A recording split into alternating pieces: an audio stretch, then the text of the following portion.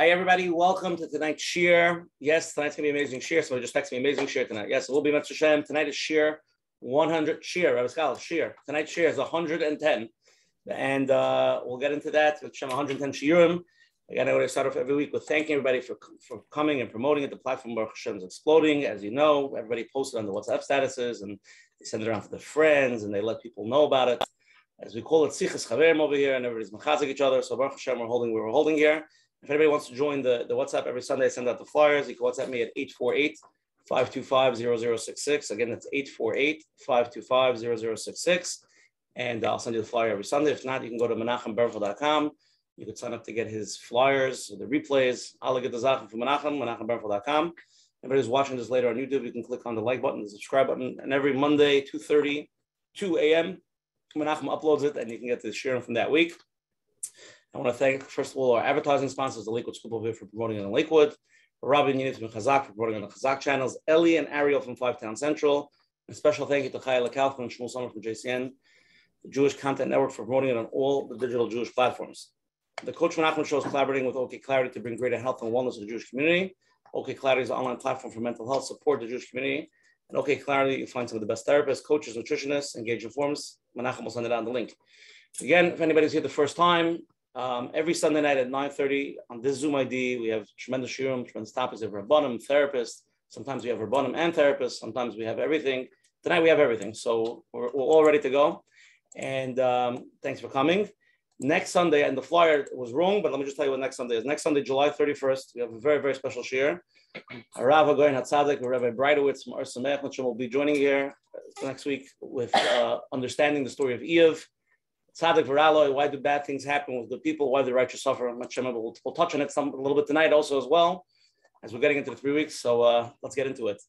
Um, tonight we have this chus the honor of having two. I'm I'm going to say the way it is, guys. If you don't like it, you can leave. But uh, I would say two of the most special people probably in Klal Yisrael that deal with things that uh, pretty much nobody wants to deal with, and the real difficult things, and um, the real the real real how do you say it? Admiral amongst admirals, right? The best of the best. So thanks for coming tonight. And Hashem will get into Rabbi Scholar, Rabbi Fried. Um, and Hashem will be mechazik everybody here tonight, and uh, should be a tremendous chizik. Tonight's share is 110, and our chaver, our Fried came out with the gematria. 110 is gematria Hashem Tova Meitiv. That Hashem is the ultimate good and the Tova Meitiv. So that's the share 110. Rabbi Fried, I was going to bring you on a long time ago, but I had to wait till the gematria. I'm sorry. So please uh, be Michael. So thank you again for coming. Tonight's um, and and that's it. Okay, Menachem. Let's start with you. Give a little opening. Tell us what we're here tonight. What are we doing? Good job. I want to welcome everyone. Welcome back. And yes, tonight is a big night. And the truth is, I think tonight we're, we're doing like two shows. One is how to be there for others in time of need, and then how to deal with personal tragedies in life. And I think it's two huge topics. And we're probably not going to have enough time to cover both but um, I know that the people that we have on tonight don't really have time. So we're gonna try our best to get whatever we can. So thank you very much for being with us. Um, there's a saying that when something happens, a trauma, it's not really, it's not really what happens, it's what you do with it. So uh, many times people go through crisis, whatever challenges, and the question is how to deal with it instead of shoving it on the rug, is how to talk about it. And at least minimum, you shouldn't say something that makes makes it worse. Now, by, by now, Baruch Hashem, we're, we're in a matzav that most people understand. Most people are not scared of the word therapy. Most people understand that it has an effect whenever it happens, whether it's childhood, and that has an effect when you grow up. And I, even though there are some people who are still reluctant and don't really understand, I meet many people, and there are some out there that still believe that their childhood has no connection with when they grow up, whatever went through. They can tell me stories that they've experienced, and they believe that no, no connection. But I think most people do understand. And when when crisis does hit, when something does hit sometimes it's, it's the, the, the most important time is when when it happens whether it's right away a few days later weeks later but to know what to do with it, what to say, what not to say. And that's why we have with us tonight the biggest who deal with this day in and day out. And the truth is, you know, we hope that they should go out of business, but I'll call it Shaloi Things shouldn't happen, but when, when it does happen and when they're needed, it doesn't make a difference the time and day. It doesn't make a difference in the hour or the weather or anything. When they're needed, they're there for Klal Yisrael. And maybe tonight we'll be able to hear a little bit some ideas of what every one of us can do or say to be there for those who go through, whether it's neighbors, a family member, friends, so that we can help and be there, not at least not to make it worse. So my tefillah is Hashem should help. We should have a lot of siyata deshmaya, and we should be able to take what works, the chizik, and we should be able to be there for others when needed. Shkoyach. Beautiful. Thank you so much. Okay, so tonight, shir, let's get into it. There's a lot to cover tonight, and let's hop around. So tonight we'll be discussing how to be there for others in time of need and how to deal with personal tragedies in life. And there's a lot to talk about. And um, let's get into it. Rabbi I'm going to read your bio, and then the floor is yours. Here we go. Rabbi Simcha Scholar, MBA, is MA in Chief Executive. Is the chief executive of Chai Life the international non-for-profit organization that provides critical health services, support services to ser- seriously ill children, their families, and communities. Under his direction and guidance, Chai Life has grown from a single program to a year-round organization with offices throughout the United States and Israel, and well as well as affiliates in Europe and Canada. Today, Chai Lifeline touches the lives of more than 5,500 children with life-threatening or long life illnesses and their families. The organization has two dozen emotional, social, and psychological support services restore a sense of normalcy and well-being to the families whose lives have been disrupted by serious pediatric illness or the illness or death of a parent whose children are still minors. Our scholar is a musmach of the Mir Yeshiva and was the Rav Shul for 15 years. He received a master's in business administration and the Master's of Arts and Education from Long Island University. He's a dynamic, frequently requested speaker who has been lectured widely throughout the United States and the author of many time, timely articles of easing the lives of children and families in pain. Rabbi Simcha Scholar, it's to have you here. The floor is yours. It's a privilege to be here, and um, it's a privilege to talk to your overwhelming audience because my uh, screen keeps on popping. So obviously, there's an awful lot of people here. Um, the truth of the matter is, I think um, Rabbi Nachum summed it up well. But the, the reality is that in today's generation, we understand that emotional health, mental health um, is something that is very, very critical. We say it in davening every day. We say it, in the halukas, we quote David HaMelech.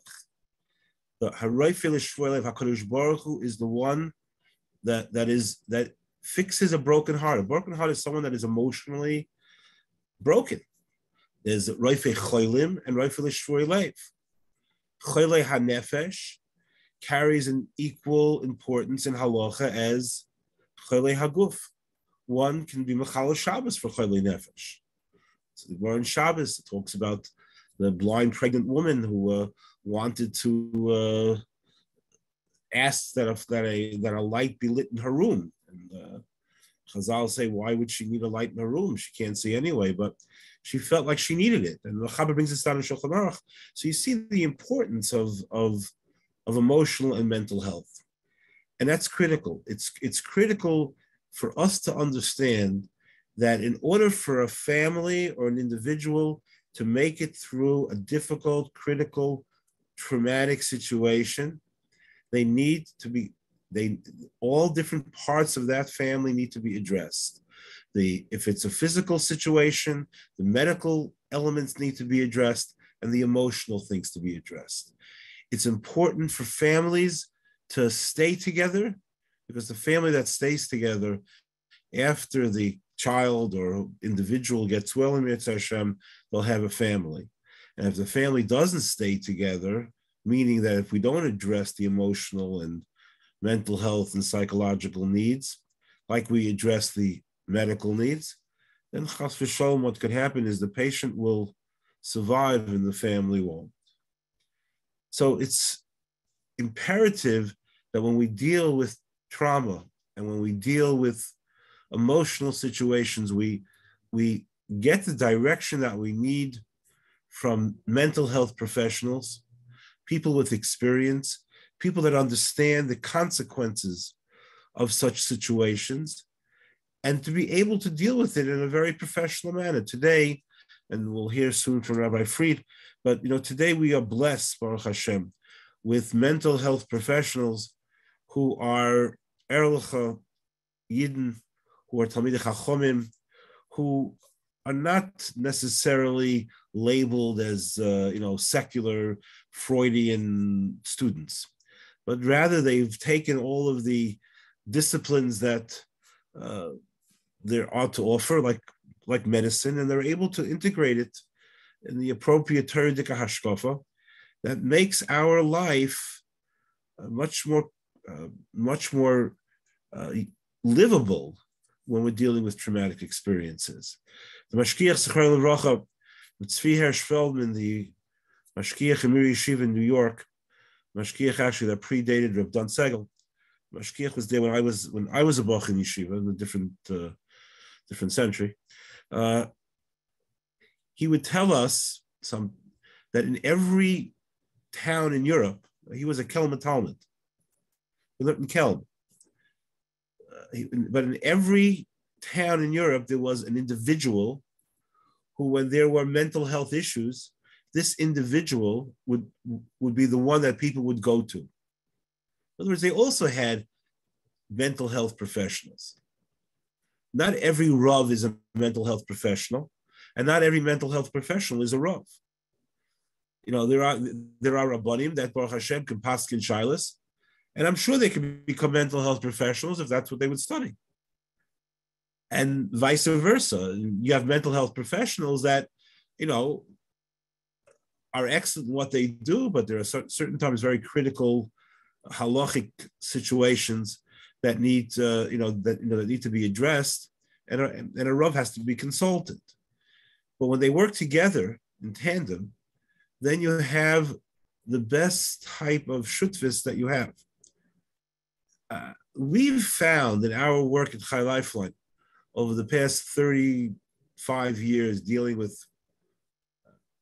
at least, uh, you know, 60, 75,000 families and hundreds of thousands of clients, we have found that when you realize that there is a physical illness at times and there is a mental consequence to this, when you realize that trauma is something that needs to be addressed because it's not just something that you can just shake off. It's not necessarily every time someone goes through a traumatic experience, uh, do you need the long term therapy, but it's something that has to be addressed. When you, re- when you realize this, as I said before, the, the, the result of that is a intact family. The result of that is a healthy family. The result of that is a functionable family. Studies have shown that the divorce rate doubles when a young child is ill. The divorce rates double because of the trauma that's in a family. And if it's not dealt with properly, sometimes a weak marriage just falls apart. So it's something that we need to acknowledge it's something that we need to get professional help with. It's something that we need to access organizations like Chai Lifeline and others to be able to deal with life's consequences. Now, that it wasn't needed, or perhaps it was needed 50, 60 years ago, I don't know, or 70 years ago. The reality is that we are living in a different era. We're, li- we're, li- we're living in 2022. We're not as resilient and as strong as our grandparents were in Europe, uh, going through pogroms or the Holocaust or other situations like that. We're Americans, and um, you know, we get affected by things that they were they you know they weren't affected by at least outwardly years ago. Today is a different world. It's 2022 and we have to um, we have to address it as such. So I, I, I, I, I think I welcome this forum greatly. I welcome the forum that people are going to acknowledge that these type of things need to be addressed. I also welcome the idea that we all can become partners in helping people. And that is something very, very important to understand the achrayas that we all have to be able to help people. And hopefully throughout the conversation, we'll be able to talk more about that. Beautiful. Now, I see why it's called a share. You just answered it. Okay, Rabbi Fried. Rabbi Sruli Fried, MSW, is the regional director of Chai Lifeline, New Jersey, Pennsylvania. Rabbi Fried has played an instrumental role in the regional in region's growth, extending Chai Lifeline's care to families in need, refining the programs and services offered. He's acknowledged specialist in providing culture, culturally relevant services to hospitalized patients. His presentations to the staff of the Children's Hospital Philadelphia CHOP and other medical centers have enabled large institutions to remain responsive to the needs of their clients. Rabbi Fried heads one of Chai Lifeline's crisis interventions teams. In addition to caring for families in the midst of emergencies, he's spoken widely on issues relating to crisis intervention, trauma, and how tragedy affects children and family life. While in graduate school, he's co-authored an article Jewish Community, Communal Service, a professional publication has been written widely for consumer media as well. Under his leadership, Bike for Chai, a two-day, two-day 180-mile bicycle rally to Camp Simcha has grown, become Chai Lifeline's largest single fundraising event. Rabbi Fried is a graduate of the Wurzweiler School of Social Work. Yeshiva University has earned his BA in Talmudic Studies for Beis Medrash Govoha in Lakewood, New Jersey. Rabbi Fried, schos, an honor to have you here tonight. Rabbi Fried, the floor is yours. Yeshakayach Ushi, Yeshakayach Menachem, truly, truly an honor to be here tonight. Um, you know, you have a for- form like this and it's Paischem B'chvay Achsanya, so obviously I'm Pesach with you, Ishi, and with you, Menachem.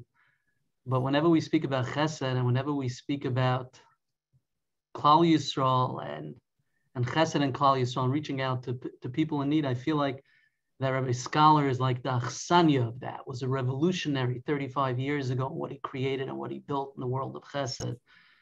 And it's exactly, I think, 21 years ago, Rabbi Scholar, um, in August, 21 years ago, when I walked into your office, when my wife Cece encouraged me to go to social work school and helped me throughout my schooling and throughout my career. So she's an Achsanya as well. Um, but when I walked into your office 21 years ago, um, and I was going to social, I was I was going to start that September um, social work school. You offered me a case management position in the organization to be a case manager in um, at Children's Hospital of Philadelphia. And you told me then, young man, Meretz Hashem, you're going to be here a lot, a lot of years, and you'll have a tremendous atzlach and an impact on Klal Yisrael. So Yashikayach for that opportunity and for being the achsanya of Chesed and Klal Yisrael. You know, I get asked, and I'll, I know Rabbi Scholar was po- talking more in the big picture um, as a social worker and as a caseworker in my younger years, as a play therapist but uh, you know, I get always asked. The, I always get asked the question. You know, what's the what's the most overwhelming feeling when someone is dealing with illness, when someone is dealing with tragedy? What are the right words to say, Sruli, when you walk into a hospital room for a parent who has a child that was just diagnosed with cancer? These are questions that I get asked all the time. And the title of the talk today is how to be how to be there for others in time of need.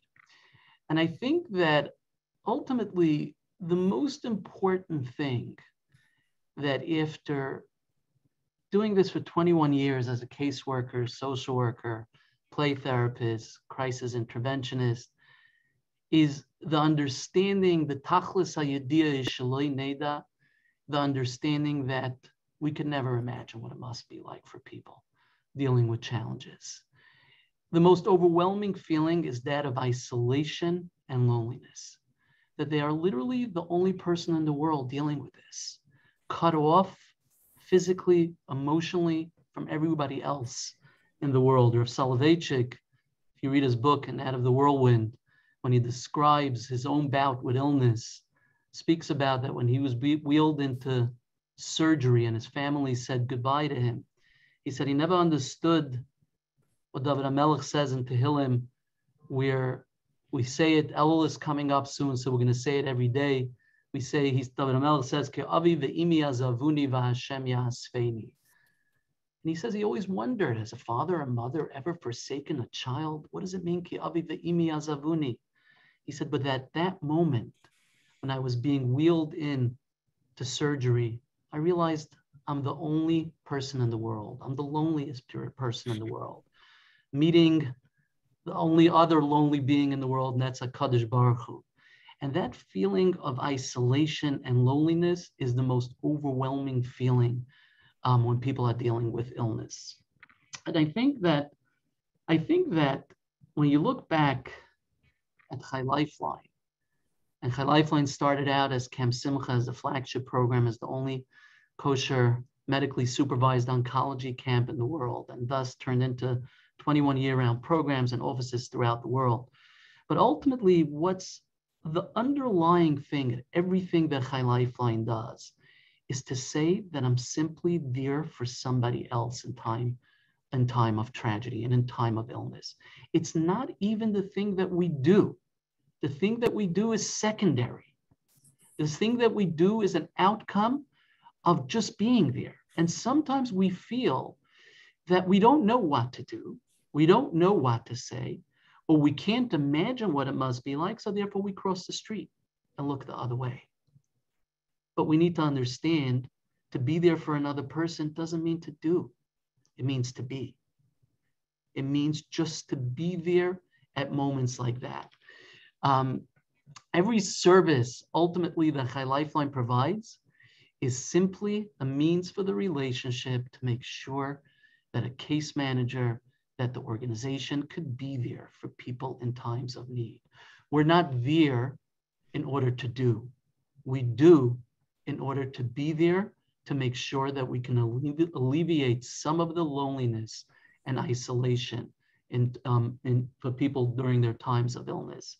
So if the question is how to be there for others in times of need, it's the understanding that we can never imagine.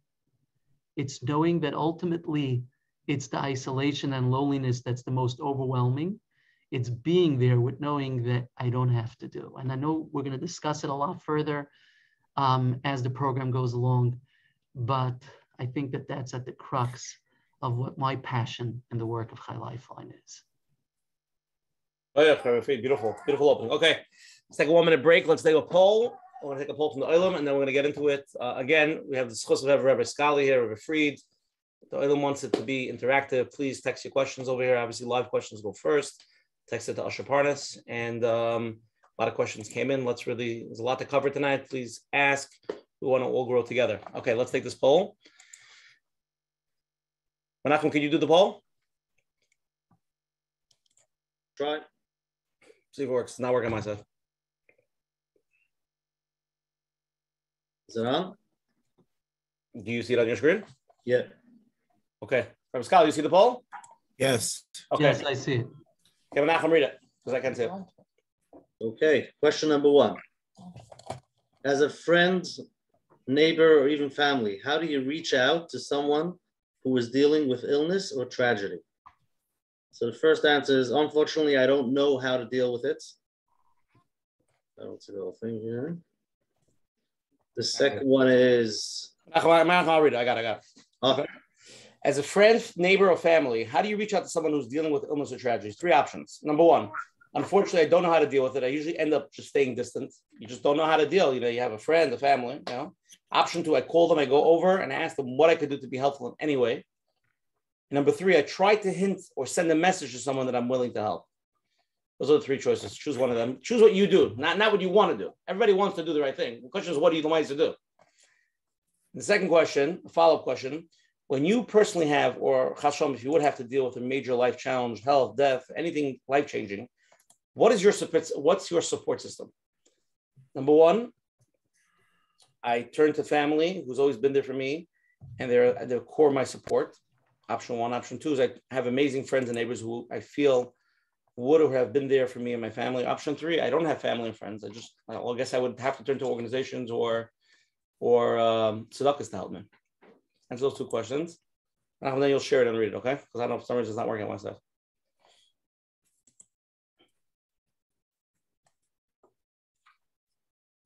No, Nachum, what does Olam say? Good answers. Good answers? Okay. I end the poll first. No, no, wait. They'll give it five seconds. Let everybody answer, and then Okay. end, and then share it.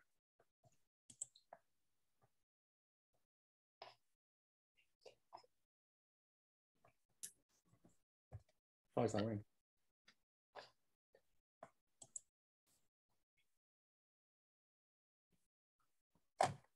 Okay, Menachem, end it and share it. And read it, please. Okay, you see the answers? We have 36% answered. Unfortunately, I don't know how to deal with it. I usually end up staying um, staying distance. That's 21%, sorry. 56%, I call them, go over and ask them, what can I do to be helpful in any way? And 23% answered, I try to bring, try to hint to them or send a message to someone that I'm willing to help. So that was the first question. Second question is, what's your support system? So we have 51%. I turn to my family who's always been there, and they are my supports, my core supports. 34% answered, I have amazing friends and neighbors who I feel I would have that they've been there for me and my family. And 50%, I honestly don't have family friends. 50? 50, 15. Honestly, don't have family friends who can support us. I would reach out to organizations or to tzedakahs. Okay, Moedik, Rabbi Fried, do you have anything to say on, on the polls? Um, It says 50% of the people are ready to do Nasa and Nishma. They're ready to, they- that's what they say they do? so so so I see 56% um, wrote, I call them and go over and ask them what I can do to help. And my response to that would be, it, you know, the two key operative words in therapy I heard from Dr. Pelcovitz years ago is it depends, right? So, so the, the, the, the, key thing here is, um, she is two things. A, is it a public event? B, how close are you with the person? Okay. When I say, is it a public event? Is someone in the hospital? That God forbid someone pass away, right? Is someone clearly losing their hair and therefore everybody knows they're in treatment, right? But if someone is diagnosed with, I don't know, stage four, stage four breast cancer, chas v'shalom, and they're going they're still in the process of going to doctors, don't have a treatment protocol, and you heard about it from a next door neighbor that happened to have seen them by the doctor, it could be as close as you are, it's still not the place for you to go. If there's a public event and someone is with a child in a hospital, that means people know. And you're at a level where you are close to them that you wash by their simcha. You don't come to the simcha just, I'm coming to the chuppah, say mazel tov and leave, but you sit down and you wash. That means this is a this is a simcha that's personal to me. Then of course you reach out. And reaching out doesn't mean I'm going to take your kids and I'm going to send you supper for the next three years. They're not holding at that level yet. Reaching out means I heard you have a child in the hospital. I can't imagine what it must be like for you. I'm here thinking of you. So those are the two key things um, that I that that that I think is critical is how public it is and how close you are. I think in the second question, second poll, I think Rabbi Scholar would probably be more qualified to answer than myself. That's a that's a big picture question there, how people look. You have to realize most people that responded to the second question, Ushi, right? Um, thankfully, are not dealing, hopefully, with illness and tragedy right now, right? So it's a hypothetical question. And the hypothetical question, they gave that answer. Look, I believe that there's no one answer here. Um, it's not things are not mutually ex- exclusive of, of, of the others. If one has a support system, family, friends, which is a great thing, it, it's not exclusive to be able to, to not reach out to an organization. One of the most, one of the greatest things we can do is help. And sometimes one of the most dangerous things we can do is help. helping does not mean that they want my opinion. they don't want my opinion. Well, I think you should go to this doctor. And my grandmother what was once sick with cancer or one sick with this, with a kidney disease, and she went to the other doctor.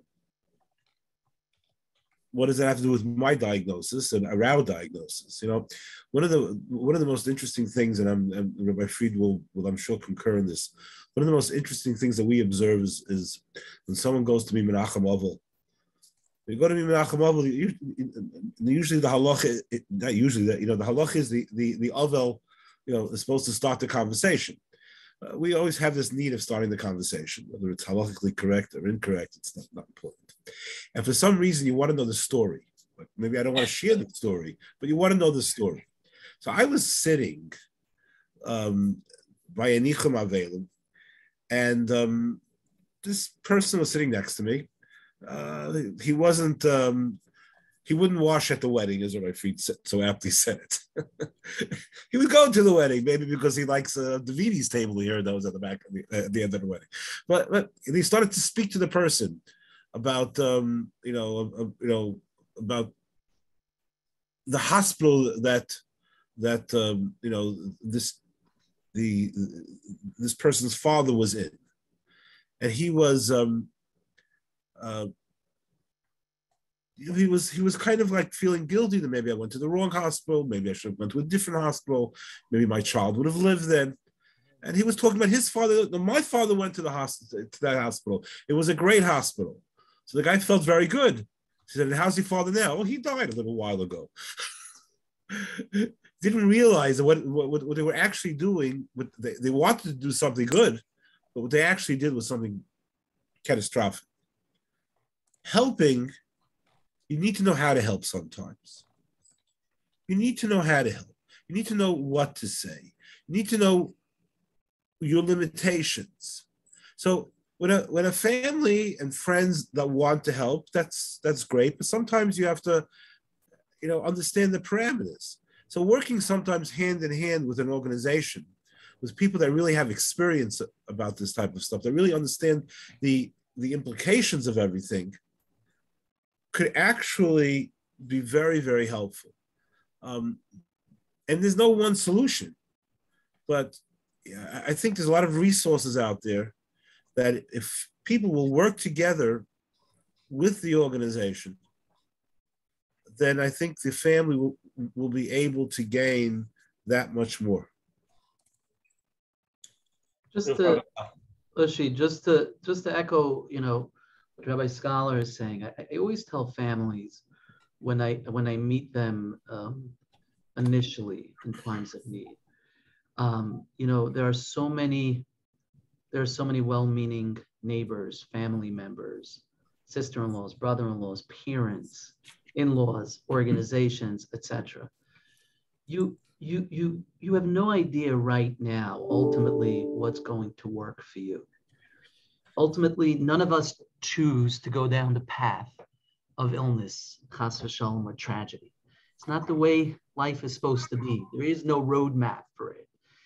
And ultimately, you're going to decide what works for you. And if it works for you to take from family, then you'll take from family. But there will, there will be that Tuesday after you took from family for two months that you simply feel you can't now.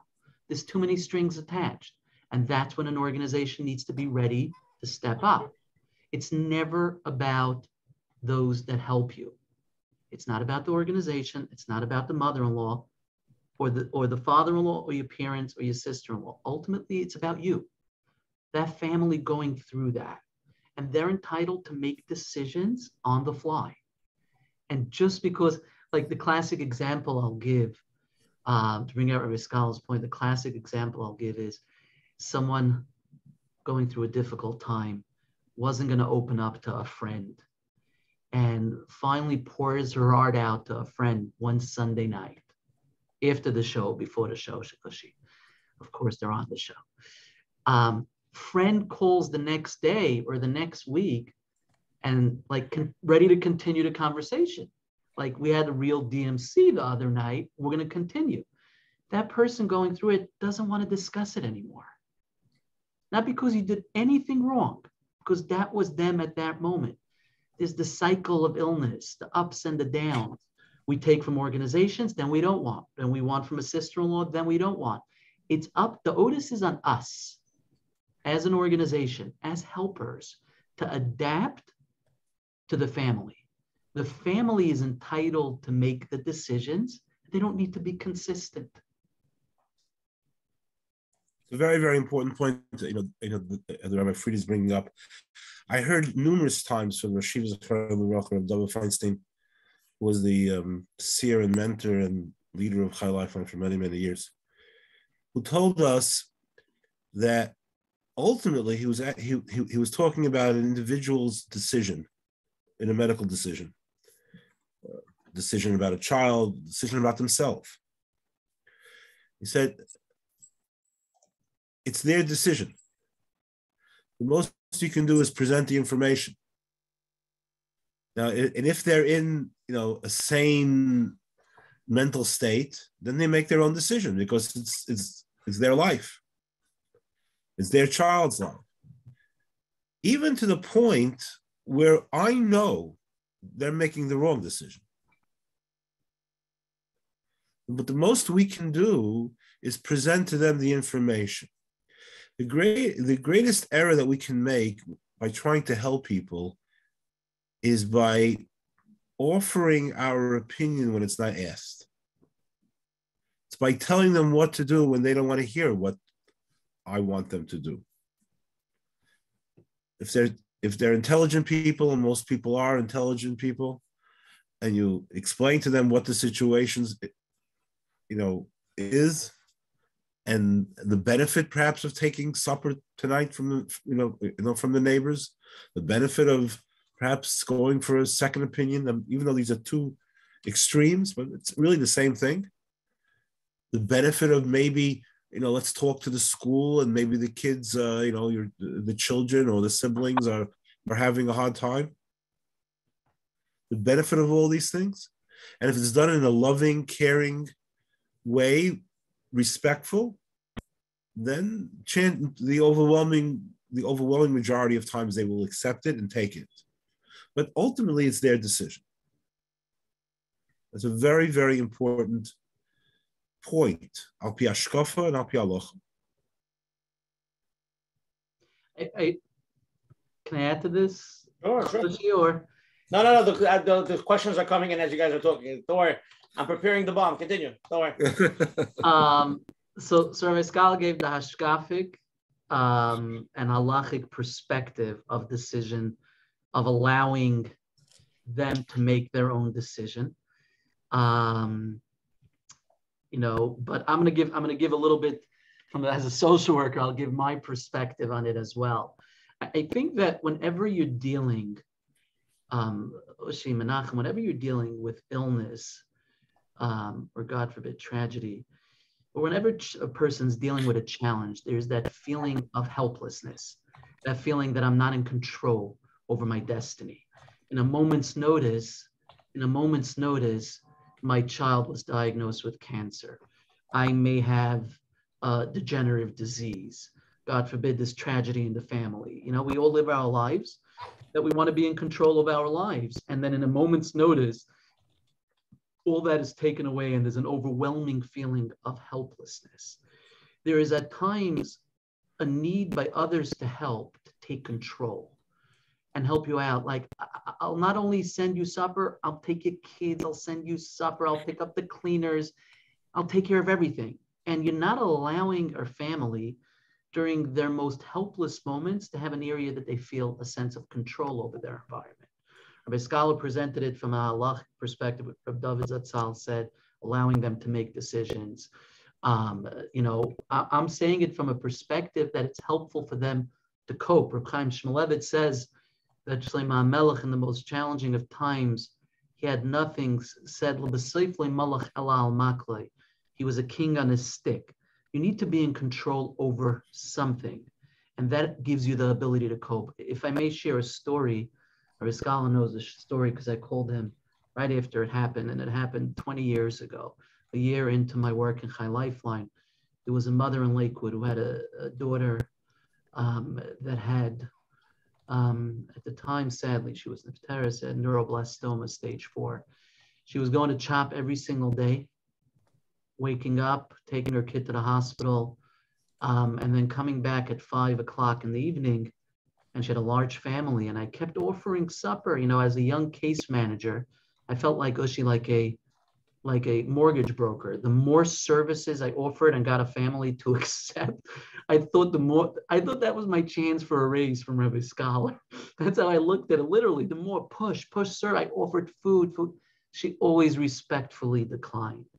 Then the neighbors called me and said, Rabbi Fried, this is not normal. She's going to the hospital five days a week, and she has a large family at home, and she's declining food. So I said, I can't send. She said no. But as neighbors, of course, go ahead and send. And that night when she came home was this magnificent dinner waiting for her, for her and her children.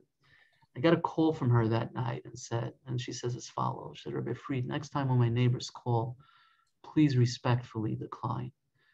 Please understand, from the moment my daughter was diagnosed, my entire life has been turned upside down. There's one thing, one thing I have. I wake up every morning at 5 a.m. I say my Tehillim. I cook dinner for my children. And I take it out from that for them when I come back from the hospital at five o'clock. Please don't take that away from me. Don't take it away from me we tend to not allow people in time of need to have that makal, to make that decision, to be in control. As Rabbi Scholar said, to allow them to make medical decisions. We have to offer, we have to be there, but at the same time, we have to allow families to make decisions. Okay, Rabbi Fried, let's jump into the questions here. Okay, first question live. Let's go. You're on. Hi, thank you for taking my question. Um, my question is generally, you know, as a person myself who has gone through challenges, you know, maybe more or less, um, you know, I want to know. Sometimes, you know, some of us are so emotionally disturbed with our own challenges when we hear someone else is going through something. I could say, at least with myself, it happened once at least. You know, I just I'm so numbed of feeling emotions. I don't I don't feel like I could feel for the other person, but it bothers me that I can't feel for them. So in such situations, how are we supposed to like balance properly? Should we first focus on ourselves or should we at least try for others? You know, is the fact that at least it bothers us that we can't feel for others, is that enough? Like how do we focus? You know, I know sometimes we hear there's certain people, there are such tzaddikim, they they put other their challenges their, their things away and they they gave it up and they felt for others even though they had their own thing. So like what is the proper balance in a regular average person to you know navigate their challenges with other people's challenges? Should i speak? To there there are there are many different levels of feeling you know. Uh, you know you, you can feel for someone that uh, you would uh, actually cry with somebody. Feel for someone that you'll totally give up your your your yourself for, for somebody else. That's an that's an extreme level of uh, of of hargasha of feeling that uh, you know only very unique people can actually do that you know? You, you heard a terrible story and you just couldn't sleep that night. Uh, you know there are different levels you know there there's the level that that's a call to action and then there's a level of of just of recognizing that there's someone else in need. When we daven three times a day we don't necessarily daven, we don't daven for ourselves. We say refaeinu. We speak you know we we we talk about the chayla yisrael. We talk about the people in general who need parnasa. The people of, of the world who need uh, Mashiach, so there, there are different levels. I, I don't think you should feel uh, any guilt about uh, not feeling to what you perceive to be the, the, the, the, the optimum level of feeling. I think the mere fact if you if you if you're if you even have the basic level of of of davening, the basic level of of uh, of recognizing that there are people out there that need a refuah shalema. There are people that need help. Perhaps I can't help them now because I'm not up to that point in my life because of different things that happen. Oh, that's okay. And eventually I'll get there, but don't ever feel um, guilty because you didn't do a positive, you know, enough positive action. that that I, that I think you're being unfair to yourself. I think that if you if you if you just open up your siddur three times a day, you've you, you've done an awful lot. Okay, let's jump on to the next live question. You're on. Okay. Um. Hi. I I work as a physician assistant in a local children's hospital in the oncology ward, And and where? And where? And where? um in Cohen Children's Medical Center Oh. in New York. Um, and I guess I was just wondering kind of what my role would be. You know, we have from families occasionally. Um, they're not necessarily my direct patients, but you know, I see them on the floor and I always wonder like if it's my place to go over and introduce myself and ask if there's anything I could help them with, or would they prefer their privacy? I just always kind of never really sure what to do with myself. And if there's any guidance, I feel like that would be really helpful for me. If I can address that, every scholar. Um, first of all, thanks for your work. Um, Ashracha, thank you. I, I think that it is a, it- at times, it's a very tricky balance. Um, I can tell you there are times that there are families in the hospital that, you know, for example, myself and the work that I do in CHOP, and we get volunteers, um, again, pre-COVID days, that we got volunteers from Penn, University of Pennsylvania, so sometimes there were there were families that appreciated more um, volunteers from Penn than volunteers from Lakewood, even though that maybe culturally they weren't so aligned with them because there was that anonymity and that feeling of I'm guaranteed that they'll be, you know, that they'll be confidential. So there are definitely families that may not want to see someone from within the community. But I think there's there is always, you know, what's called nera ve'ena nera, right? To make sure to be around, to bump into them, but not in an intrusive way. It's a it's an art, um, walking down the hallway and knowing when a family is going to leave. But once you meet them in a public setting, I think there could be a sense of um, a very reassuring feeling to somebody, saying that there is someone from and that can look out for me, that can understand what it means, how challenging Shabbos is going to be, or can understand my needs, uh, someone that gets it. So there's value to that. There's no question, and that can be very helpful to a family. At the same time, you never know who knows who's which mechutin. So to be, you know, to be intrusive, you have to be aware of that as well. So it's a balance, but try to make sure that you bump into that. It's always it's always an art. Walking the hospitals, I we I have it every day as a case manager. I don't go as often. I only go once a week now to the hospitals. But back in the day, there were always families in the hospital that didn't reach out to Chai Lifeline, right? But ultimately, you wanted to make sure that they know that you're there, and that we allow them to make the decision if they want the help or not. So you want to make sure that you get yourself in front of them at the right time, but not to be intrusive. Beautiful. Okay, you're on. Hello.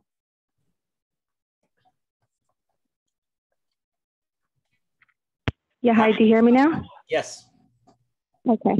So my question is about the art that you just described, being more specific.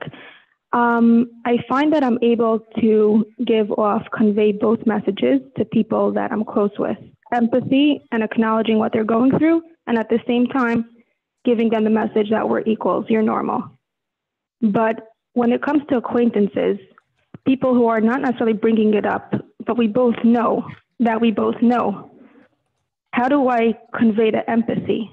Because I'm so sensitive to their possible potential feelings of discomfort.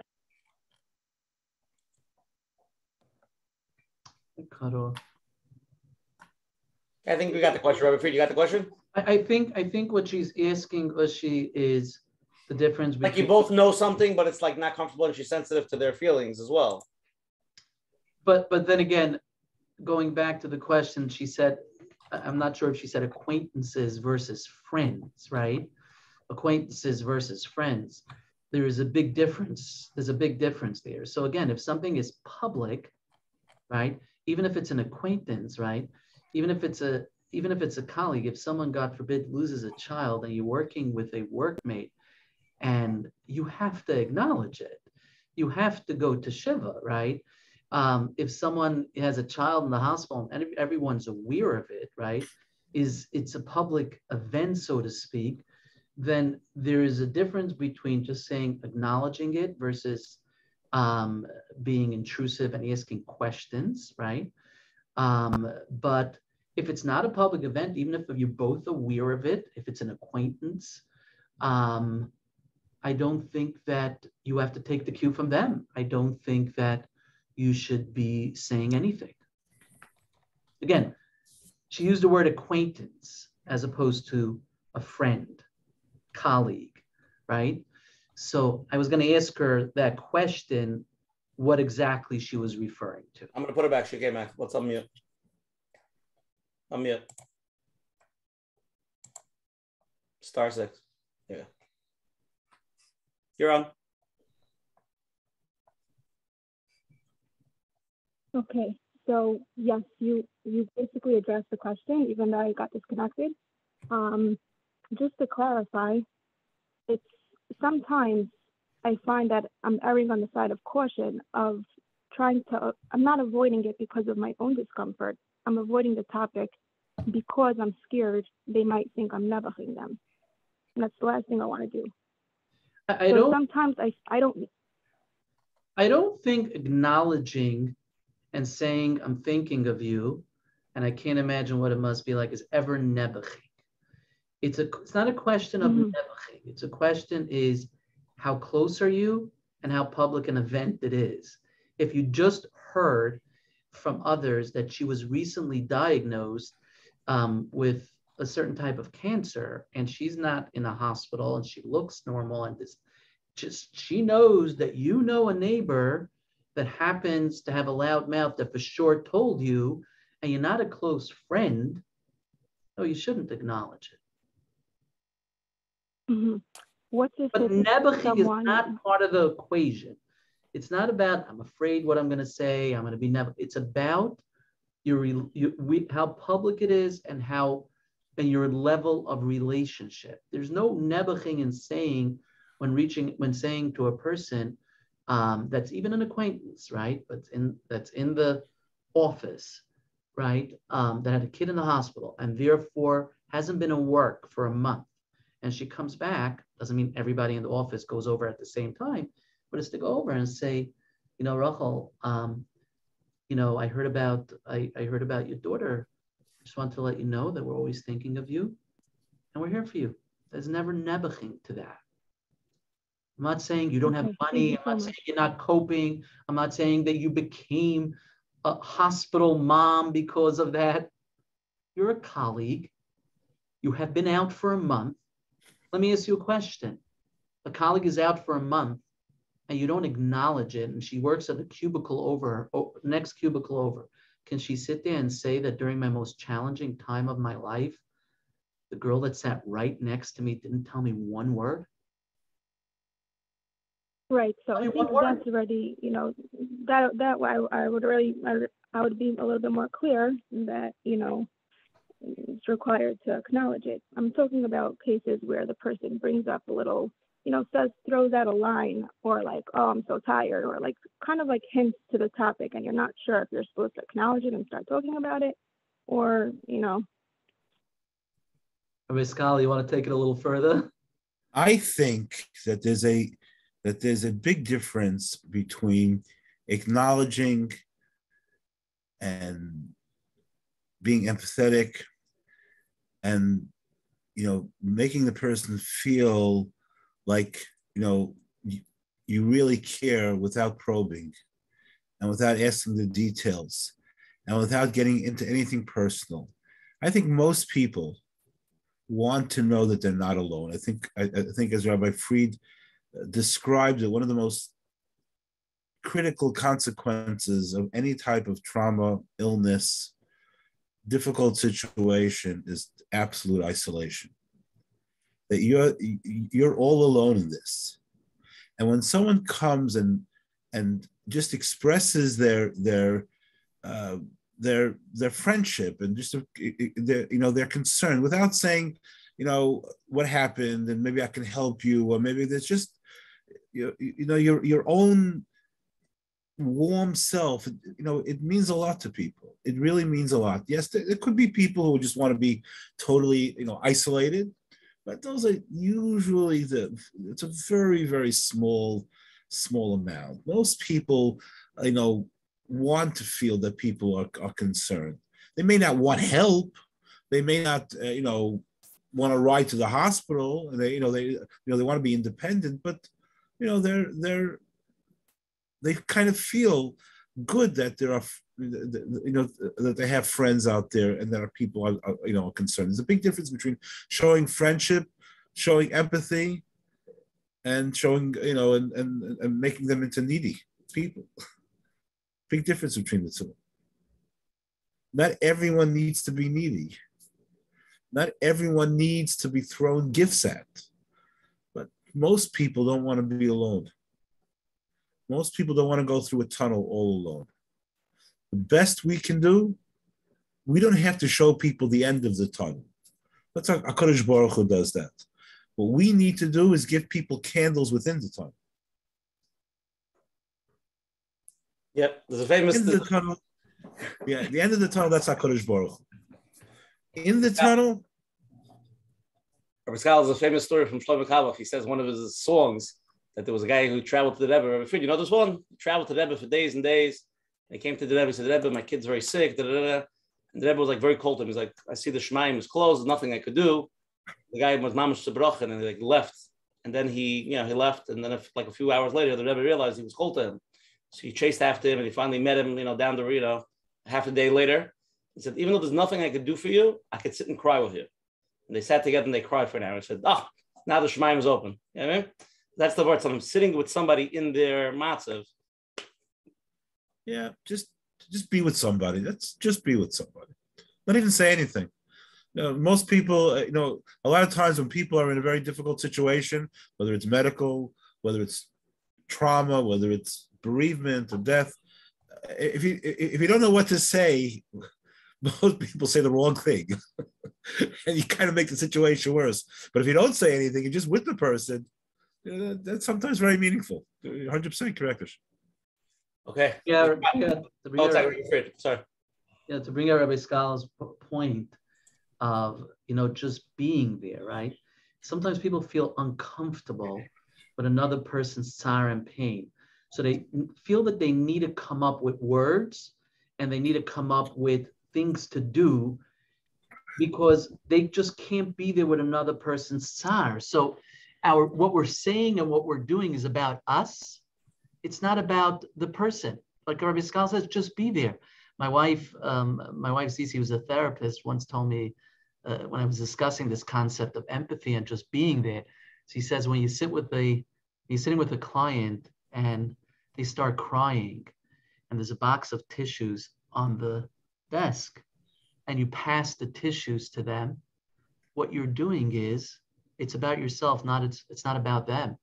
You felt uncomfortable just to be there with their pain. They knew they could take the tissue. It's right there in front of them. It's bringing out Rabbi Scholar's point. We don't need to do anything. Just be there. Just be there.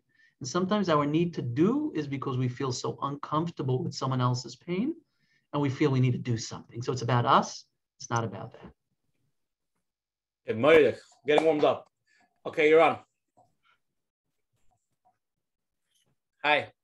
Hello, can you hear me? Yep. Okay, perfect. First of all, thank you so much. This is fantastic. A different question on a different topic. How do I deal? So, Rabbi Fried explained so clearly there's a public story and a private story. So, I'm talking about a public story, and it's a person on my block. So, I don't know if I would wash by their chassan, but it's definitely someone I know, and it's public on the block. But the story is that the child died because he overdosed. What's the right way to react to that? Right, free. This is right. This is um, on a daily basis. You're dealing with this. Sadly, um, when you're asking what's the right way, what what are you asking? Are you asking? Do you bring it up? Do you ask her a question of, um, how did your child pass away? No. What's what? What are you asking? Did did that mother tell you something? that you're questioning how do I respond? The mother didn't question, the mother didn't say anything. I am aware that it happened. I am aware they are sitting Shiva. I have to go over to be Menachem Avel because I live two doors away. And what's the right way for me to react? The right Obviously, way not to ask any do- questions. That's obvious. The right way is to react as you do any Nechem Avela. You take the cues from the mother. You take the cues from the mother. So if she's talking about how amazing a child um, her child was, then you listen and hopefully you can share stories. If she's talking about and say, his struggles were so great and he tried so hard to overcome them, you say, I can't imagine what that must be like. If she's saying he fought this so heroically, you validate that. You're going to take the cues from that mother. If she sits there and says, you know, drug addiction is an illness like any other illness, people don't grasp it and people don't understand. You know, people only give sympathy to those that have cancer, but not to someone that has an addiction, right? You don't need to be an addiction specialist to listen and empathize. But you're gonna, you don't know what approach the parent is taking to this. There are parents that can be angry at the system. There are parents that could look at this and be very open about it. I've been to houses where a child that um, I've been to Shiva houses where a child, um, you know, OD'd and they're very open about it. And that then you respond accordingly. You have to take the cue from them, and that's how you respond. You also, and I, I think it's very, very important to realize what Rabbi Fried said that a, if a, a child ODs or commits suicide or some other horrific thing, it's an illness. It's an illness. Mental illness is an illness. Addiction is an illness. It's a it's as it's as it's as dangerous as any physical illness, maybe even more dangerous because sometimes in a mental illness there's really no chemotherapy to solve the problem. So if we if we focus in on that, that it's an illness, and see exactly how the parents are dealing with it, then you know then you know exactly what your reaction should be. Don't be afraid of it. Just be just be part of their pain. I wanted to mention one thing from the lady you said before about like, you know, embarrassed to ask and what to say. And also like this, like the longer you make it uncomfortable, the more of complicated it is and the harder it is. And it would be very uncomfortable for years down the road. You're sitting next to somebody and they never mentioned that that that that that they're dealing with a sick kid. You know what I mean? Like it makes the, the uncomfortability, it's better to take the horses by the reins right away than let it build into something more than what it really is just breaking that ice in a, in a, in a nice way. Again, if the person shuts you down and you feel a pushback, you know what I mean? Okay, but at least you tried. There are people that do that. Look, the, the greatest, the, the, we all have a need for, for information. We all want to know exactly the details. But Chazal said, Siyog l'chachma shtika. Sometimes shtika is the greatest siyog l'chachma. Sometimes the greatest nechama to somebody is not saying anything. By just saying I'm walking in Chaim writes that. They need to talk, they'll talk to you.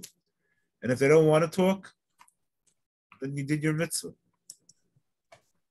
So here's um, here's a question somebody sent in. I know we're talking about this, but it's more specific. My sister lost her husband recently, and I want to I want to reach out and help her how soon is the is it appropriate time to do so and how to go about it Um, We're dealing, so- we're dealing with this, this thing the whole time. Just let's let's get more into clarity. Like, how do you know when is the right time? When is you know what I mean? Talking about when a tragedy hits, not not six months down the road, right? Everybody wants to jump. Everybody wants to help. You know? So, so, so first of all, the question doesn't identify, the question doesn't identify, you know, if this was a tragic, I mean, every death is tragic, but if it was a sudden death or after an illness, right?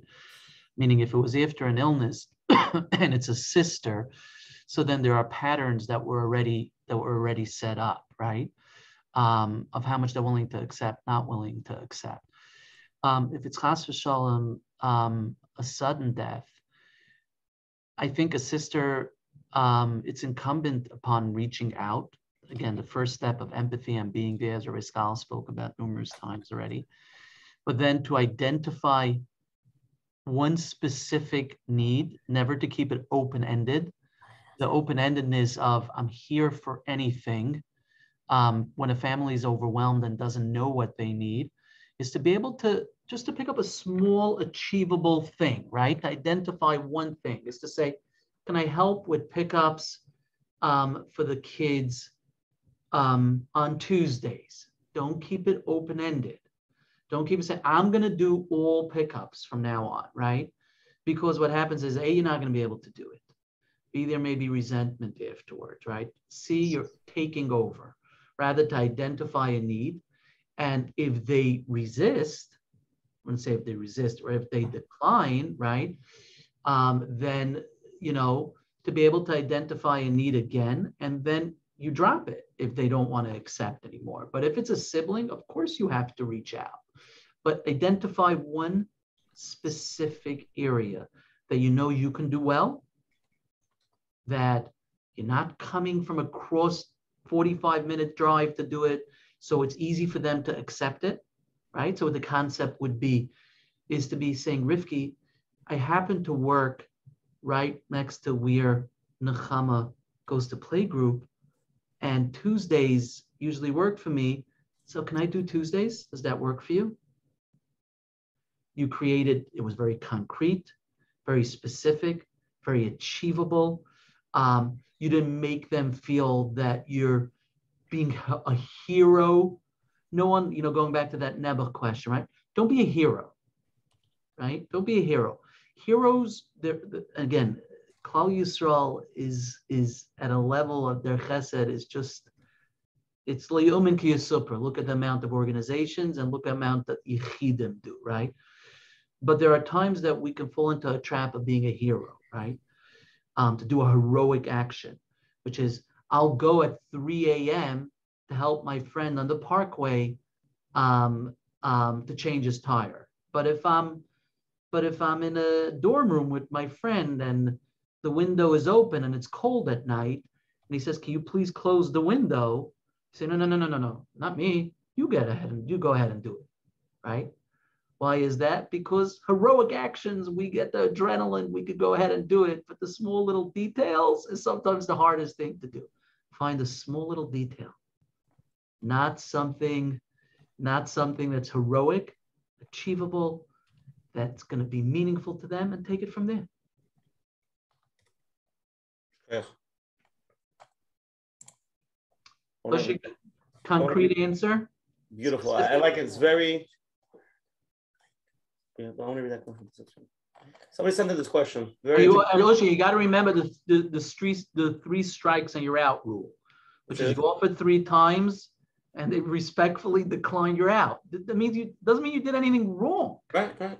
Doesn't No, mean anything wrong. 61, okay. Okay, I want to read this question. Please keep me anonymous. Thank you. I've been diagnosed for my third time with cancer. I'm in my 60s. Of course, Baruch Hashem, I'm alive and I'm walking miracle. However, I have no desire to speak to my friends about it. I know I have to tell them.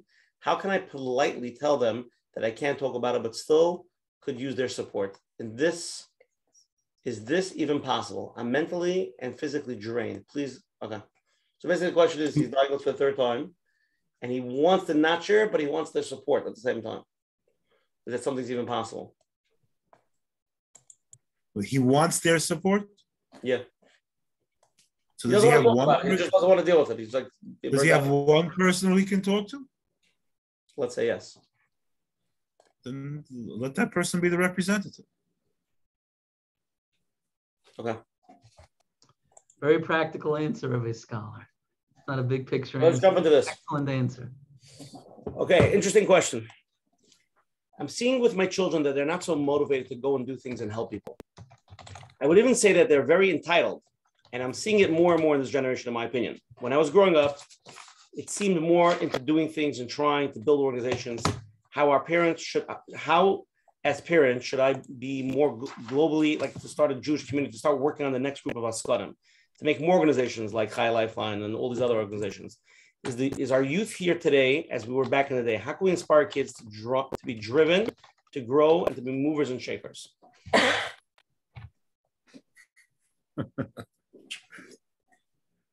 In my opinion, that's the number one problem in Klal Yisrael today.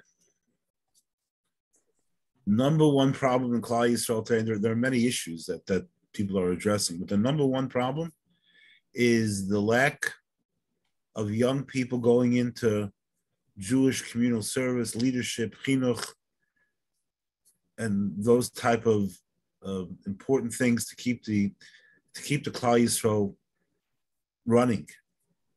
Now there are many, you know, you know, there are many reasons. There are economic reasons. There are valid reasons. We're not, we're not going to get. This is not the forum, you know, to talk about that. Maybe you'll have another forum, but but this this idea to dedicate one's life to the Klal Yisrael, to start a Hatzalah, to start a Chai Lifeline, to start the other things that the, all the important organizations of the Klal Yisrael. It's something that we have to keep on uh, inspiring our children by telling them that that's a, that's an incredible goal. Well, you know, these are the heroes of, of, of our community. This is an important thing to do. This is something to be proud of. And think about that for a second. I mean, the, the, the, the amount of learning today in various different communities is is is super. You walk into a you know to a shul Shabbos afternoon, you see, you know, tens of young lights sitting and learning. The amount of chesed and tzedakah that comes out of different communities is just unbelievable. So it's just unbelievable. The numbers are just unbelievable.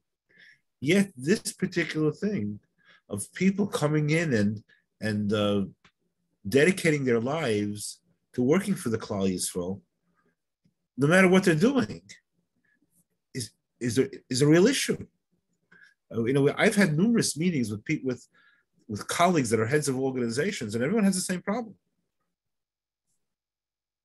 Who's going to take over? It's a real issue. It's a real issue. Now, the organizational life has come a long way. You know, we understand now that we have to give people to make a living. You know, but um, so that's that's a you know that's that's a major achievement. But on the but but we need people. We need people. So I you know I'm, I'm not here to to comment on the the chinuch system of the of, of the yeshivas, but just from a from a from a family perspective, it's it's an ideal. It's something to be proud of. It's something that we can infuse our you know we, we have to infuse our children to do, and they want to do, and even if they only give up meister of their of their life, a couple of years the difference that will make in the over all the overwhelming majority of institutions and and uh, community organizations and Klal Yisrael will be enormous, enormous. Give up myself a couple years.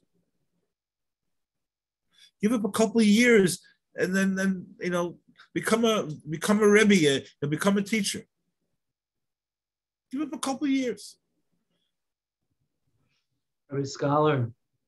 At the same time, what would you say? How many how many girls and boys are on a waiting list to come into Camp Simcha? That's true. There are hundreds of boys and girls on a waiting list to go to Camp Simcha. I'm sure many many people here on this uh, on this call probably called somebody to get a friend of theirs as a counselor in Camp Simcha. If you haven't, you're probably not part of the Jewish community.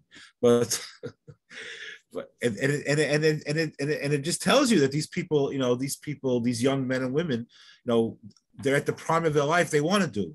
They want to do. They want to do. The yeshivas are doing a good job. You know, they're teaching people. There are issues. There are problems in the community. Uh, plenty of problems. But overall, they're doing a good job. The product that, that's coming out of the yeshiva system today is a superior product. Boys chinuch, girls chinuch, it's a superior product in terms of their learning, in terms of their, uh, you know, their midas, you know, in terms of their awareness to, to, to different things. It's a, it's a, it's a tremendous product. It's a much better product than came out when I was uh, in, in high school. When I was in high school, nobody was making Siyum Mesechtas, let alone Siyum Shas. When I when I when I was in high school, the, the, you know, how many girls, uh, you know, that went out of high schools, uh, you know, wanted to support a, uh, a young man in kollel. It was it was it was you know few and far between. And look at the dramatic change in the in the in the Jewish community in the past 45 years. It's unbelievable. It's unbelievable.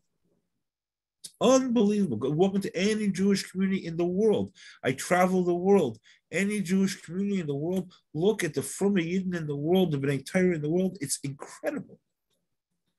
At night, in the Beis Hamedrash, learning. It's a serious nefesh on the woman's part and the men's part. Incredible.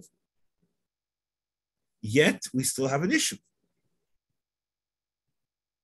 So we have a prime, we have, we have, we have, we have a great product.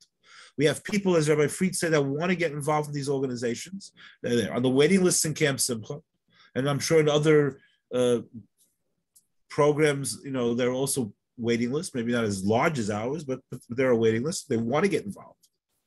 They want to do good things. Let's give them the opportunity to do it. That's where the future is going to be. That's where the future is going to be. And if we don't do it, then we're jeopardizing our children and grandchildren's future. That's our that's our role as individuals. It's not just the, the people that, that are that are heading the organization. It's our role as parents. It's our it's our role as as as as concerned community members. Okay, beautiful, Rabbi Scholar. Okay, okay, sorry, you're on. Hi. Um, I was wondering, uh, how, uh, you know, Chai Lifeline, I guess your forte is, you know, people with cancer, but what about um, people with degen, you know, friends, family, relatives with certain degenerative illnesses like Alzheimer's, Parkinson's? I, you know, I, I don't know if dealing with them, you have to deal with them in a different way. I have a friend um, who I would like to visit. She's she's in a home right now because she has early stage Alzheimer's, and I don't know how to bought you know. I don't know how to approach her with that. I, it, would it be a different dynamic than say a family with, um, you know, the you know the you know the tragedy, you know, you know, specific tragedy like cancer. this is you know, obviously a, a, lingering, slow growing type of, you know, pain, but, you know, but I'm sure it's, you know, painful as well. But how, how do you think I could approach my friend or, you know, offer to help in whatever way? You know, it's, it's, you know, it's not like she's completely debilitated or, you know, or at least not at that stage. Do you deal at all with that? Or would you know how to deal with, uh, would you, would you know how to deal with that situation?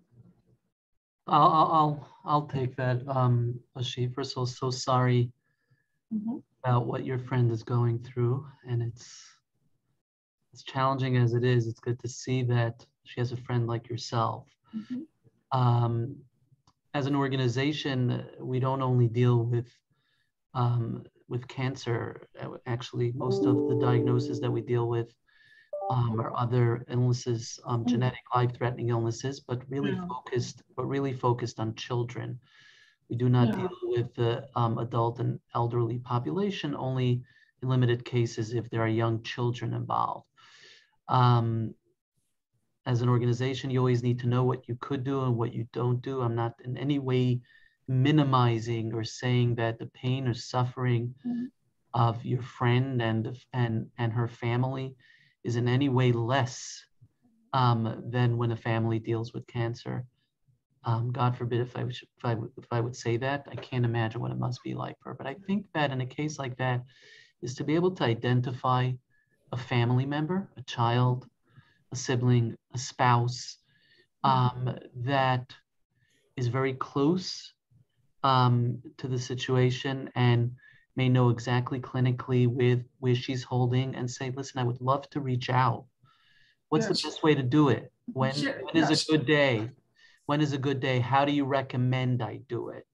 Um, in these Yeah. situations, especially in degenerative diseases, you want to hear from family members. They know they're more intimately involved and know how their family member is doing, and they can guide you in how to reach out. Thank you very much. Yeah. She has a nephew, so maybe I'll talk to the nephew. Mm-hmm. Okay, Okay, I'm gonna read this question. Okay, the person doesn't want to read it, but she, she usually does ask, but she's too emotional for her.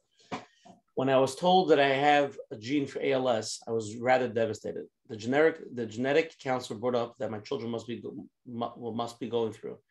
I was so overwhelmed with my own situation, I could not think of anything or anyone else. All I wanted to know is that my siblings and my children wanted to be tested. I didn't cry. I just said to hell and asked Hashem to take this gene away and restore my nerves. What should I be telling my children and my siblings? My father died from ALS. My children and siblings do not want to be tested since there's really nothing to be done about it anyway. She has ALS herself.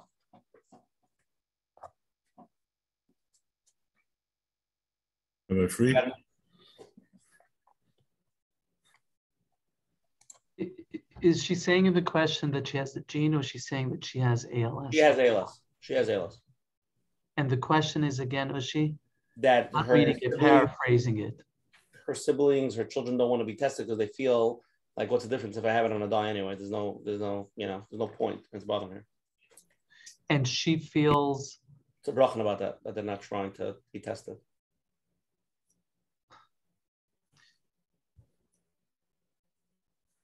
It's a very challenging question. And again, I'm sorry what you're going through. I can't imagine. At the same time, I think that we need to know that when we, two things, when we deal with certain challenges, we may feel that the way we're going to cope is to do something about it for others, right? So sometimes, to give a generic example, a parent that has a child with cancer and feels that the best way that worked for them was to make sure that kids go to therapy. So they'll reach out to another family in a similar situation and say, I'm telling you, this absolutely worked for me. You should do that too. It's how we cope, it's how we take our challenge and we say, we're going to do something positive about it. But ultimately, we need to understand that everybody is an individual and everybody is entitled to cope how they feel. So you may feel that another needs to know, another may feel "Ah, Uh, it's going to hurt me to know because my my quality of life now will be impacted by knowing that I may have ALS. So I would rather not know. And we have to allow everybody to cope as they wish. And although we have that need coming from a very, very good place to take the challenge, and I commend you, you're taking your own challenge, and not only are you thinking about yourself, but you're thinking about others. And that's a very special and noble thing to do. But at the same time, the others have the right to say, we're okay. We don't want to know. Okay. Let's jump into this question. I lost my father two years ago, and I actually moved on. But what bothers me more is I feel like I have forgotten him. How do I hold on to the feelings of him and the loss? The opposite. So, Rabbi Scholar, I'll take this. I'll take this one as well. Um, there is that constant.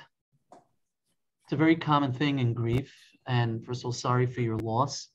And you know, a lot of what I'm going to address is general, as some of these specific questions really are very tailored to each individual that if follow-up is needed, you can reach out to me privately or to someone in Chai Lifeline afterwards. Um, but I will I will address it in a, in, in a in a general form, which is to say that it's very very common when dealing with loss that we want to hold on. We want to hold on to the memories. We want to hold on to the pictures. We want to hold on to the smells. We don't want to wash the linen, and we're constantly feeling that we're losing them again what we need to know is that as time goes on, we don't move on. We don't move on. You never move on from a loss. But the experience is different. Our president, Joe Biden, once spoke to widows. He speaks a lot about grief. He lost two children. Um, so he was once speaking to widows of servicemen that were just killed in the line of duty. And he said, the day will come when speaking about your loved ones will bring more smiles to your face than tears to your eyes. That doesn't mean you moved on. That doesn't mean you forgot. You're not moving on. Your father is a part of your life every single day. But the experience is different. The pain, it's not a piercing pain anymore. You have the capacity to smile you have the capacity to remember a funny story about him. So we think we're losing by not feeling the pain. But HaKadosh Baruch Hu made it that with time, it becomes less painful. That doesn't mean you're forgetting. That doesn't mean you're moving on. It's just a different relationship now.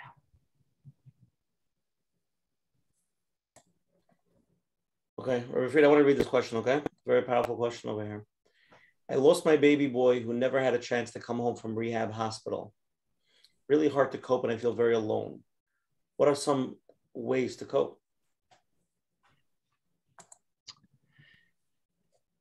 Um, I'll share. again, it's a very, very individualized question, one that could be beyond um, the the scope of this of this forum. And again, I'm sorry for your loss. Um, I think I'll bring out one point to validate something here. I, I remember I was once by a shiva call my wife to a mother, a, a family member that had lost. This was the second child they lost, and they were both infants. and my wife, when speaking to her, um, and she was, you know, she was very forthcoming with my wife. Most, most people didn't have what to say, what to share, because when you lose a child, an older child, you're saying stories about school, about accomplishments, right? Have a little infant, right? What are you sharing that somehow can be of interest to, others? You have a child that's in a facility. What are you sharing? And that isolation and loneliness is so overwhelming. And again, I'm not comparing one pain to another, but I'll, I'll never forget what my wife said there my wife said, she said to her cousin and said, Rivki, those those midnight moments of how the how your baby looked at you and how he smiled at you and how he smelled and how you cuddled with him, those are memories that you'll hold on to and never forget. There are so many little memories that you have with your child in the facility that's so, so hard to share with others. You can't just walk into a supermarket and speak about what that moment was like on a Sunday afternoon when you when you visited your child in the facility. No one will understand. So that isolation and loneliness is beyond anyone's comprehension. But know that there are memories that are so valuable to you and that are deeper than anything else.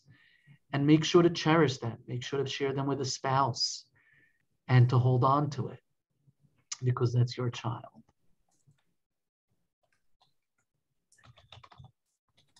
beautiful free. Submit them.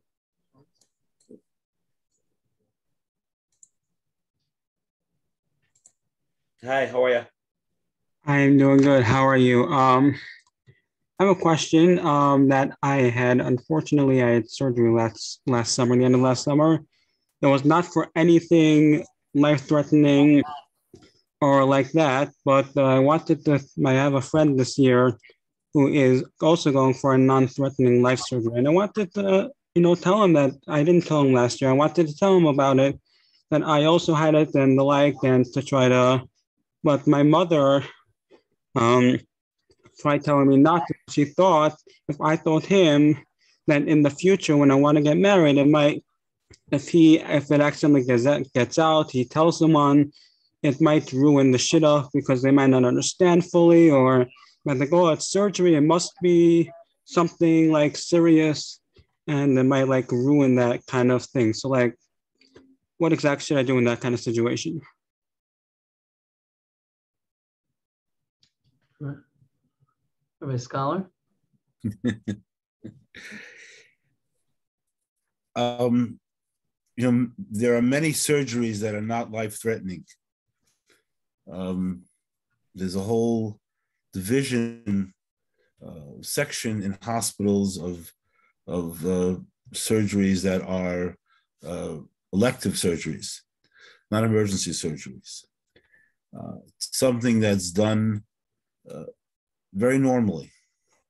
So I, I, I, think the first thing you have to realize, maybe your mother also doesn't realize this, perhaps, is that not every surgery uh, is, you know, is because somebody was deathly ill. I don't know what happened, uh, what your surgery was about, nor do, nor do you have to say anything to me now, or what your friend's surgery is about, but the way how you're describing it, it's, it's an elective surgery. Mm-hmm. doesn't seem to be a life-threatening surgery. So it's a, you know, it's a it's a perfectly normal thing that someone will, you know, can play ball and uh, something happens to their leg. Uh, you know, the you know, sports medicine is not because of life-threatening, uh, you know, illnesses. It's because of you know during sports they we sometimes um, uh, strain uh, you know something that needs to be corrected. So I think perhaps if you normalize it, maybe your mother will see it in a much different way. Mm-hmm.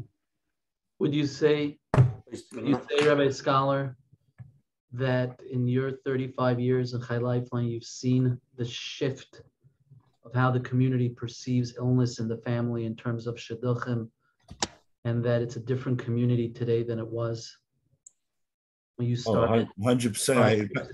I, I, I was in Camp Simcha this past Shabbos, and I don't know, someone they were they, they wanted to talk to me about the how it was in the in the beginning years.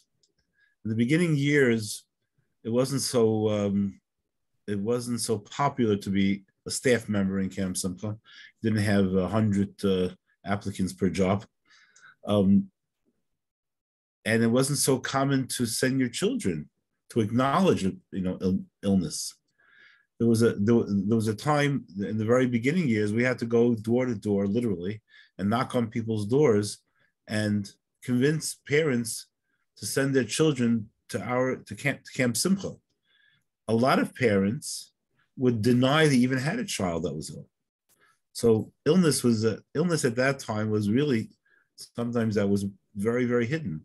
Today, we've made major, major, major changes, uh, Baruch Hashem, and people acknowledge it, and people aren't ashamed of it, and people are deal with it in all communities, in all types of, in, in, in all the from communities, from you know various different variations. So society has definitely become much more uh, accepting, and uh, ain't bias she'ain sham Indian. You know, every everyone's home has something, and everyone realizes that.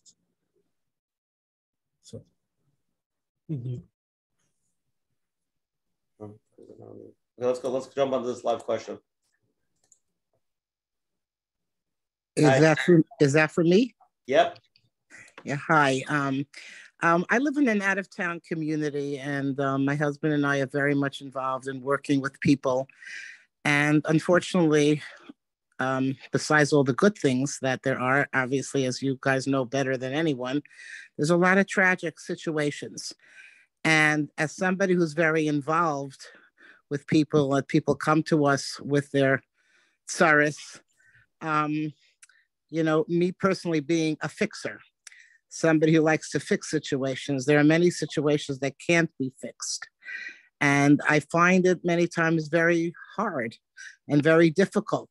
For example, you know, you talk about Emuna, yes, and we all have Emuna, but there are situations, for example, where Alpi Teva, you know, there is no help. And the obviously the Abishter can always do a nest, and we're aware of that. But there are many situations where you know you can't help the person, and it's very very difficult because when you want to fix and you want to make it better, and you know you can't necessarily, it's not in our hands.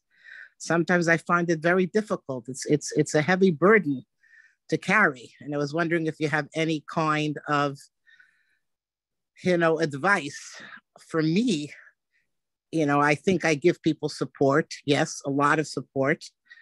Um, but it's hard for me because I want to fix it and I know I can't. Uh, let me just make a comment, uh, Rabbi Fried, then you can answer it. First of all, why why do we perceive that fixing means doing what Hashem does? Hakadosh Baruch Hu runs the world. There's a big difference between fixing things and helping things there's a there's a consequence. You know, Hakadosh Baruch Hu runs the world, and things happen. You know, a lot of things happen. Next week you'll you'll hear about Tzaddik v'ra lo, Rosh Kitovla. It's a it's a it's a question that Moshe Rabbeinu had. he couldn't find an answer to this one. A lot of tragic things that happen. Sure. Sit in our chairs, myself and Rabbi Fried's chair for a day, and you and you and you see all the tragic stuff that goes on with babies and young adults. It's pretty pretty sad things we can't fix things. We can help people. And that's you and your husband are in a very, very important position because you can actually help someone get through the situation that they're in. And that's fixing it. That's fixing the moment. That's fixing the moment. That's real fixing. You're helping someone deal with today, now. You you created the world. Yesh You fixed the world right then and there. Let me add. I, let me let me add. I, to- I hear you. Um, I hear you. You're right. I mean, obviously, we know it's not in our control. It's just, you know, it's difficult. You know, to watch somebody else suffer is very, very, very difficult. It's beyond. It's beyond difficult, and you're 100 percent right. Um, to to to elaborate a bit on on Rebbe Scholar's point, right?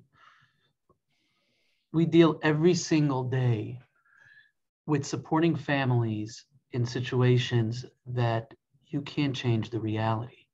We're not neurosurgeons, and um, sadly, we're dealing with end of life situations. We can't take out brain tumors. We don't know how to how to heal illness. We daven to Hashem, obviously for a shalema.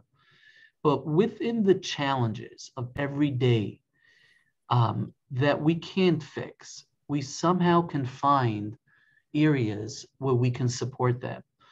We, we, we, we speak about this all the time when Bochurim are davening for a Rebbe that sadly has an incurable, um, that, has, that has an incurable disease. That the focus shouldn't just be on the ultimate refuah shlema, which we daven and we hope for, but there's on the today. There's meaning in today.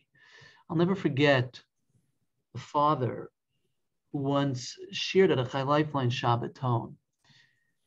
He says, I can't explain why my daughter just third relapsed for the third time um, with a brain tumor. I can't find meaning in it. I hope for Fuushalema, but we don't know what's going to be. And I can't explain to you why all of you are sitting here. But he said, I can find some sort of meaning within today without fixing the situation. He says, you know, we all struggle. This was his father's perspective, but it gives you a perspective. He says, you know, we have our midlife crises and we all struggle every single day. Um, what is it, the Ratzon Hashem, that Hashem wants of me to do today? Should I do this? Should I do that? He says, when my daughter has low platelets, I know that Hashem is talking to me at that moment and saying, Mayor, get into the car and drive to sh- drive to CHOP. I can't fix it. I can't heal my daughter. But that sense of I feel that Hashem is talking to me and I know my purpose gave him a sense of meaning. As a help agent that you are in your community, you can't fix, but to identify within everyday challenges some sort of meaning like Rabbi Scholar said, the light within the tunnel, not to get to the end of the tunnel, that can be done in the worst situations.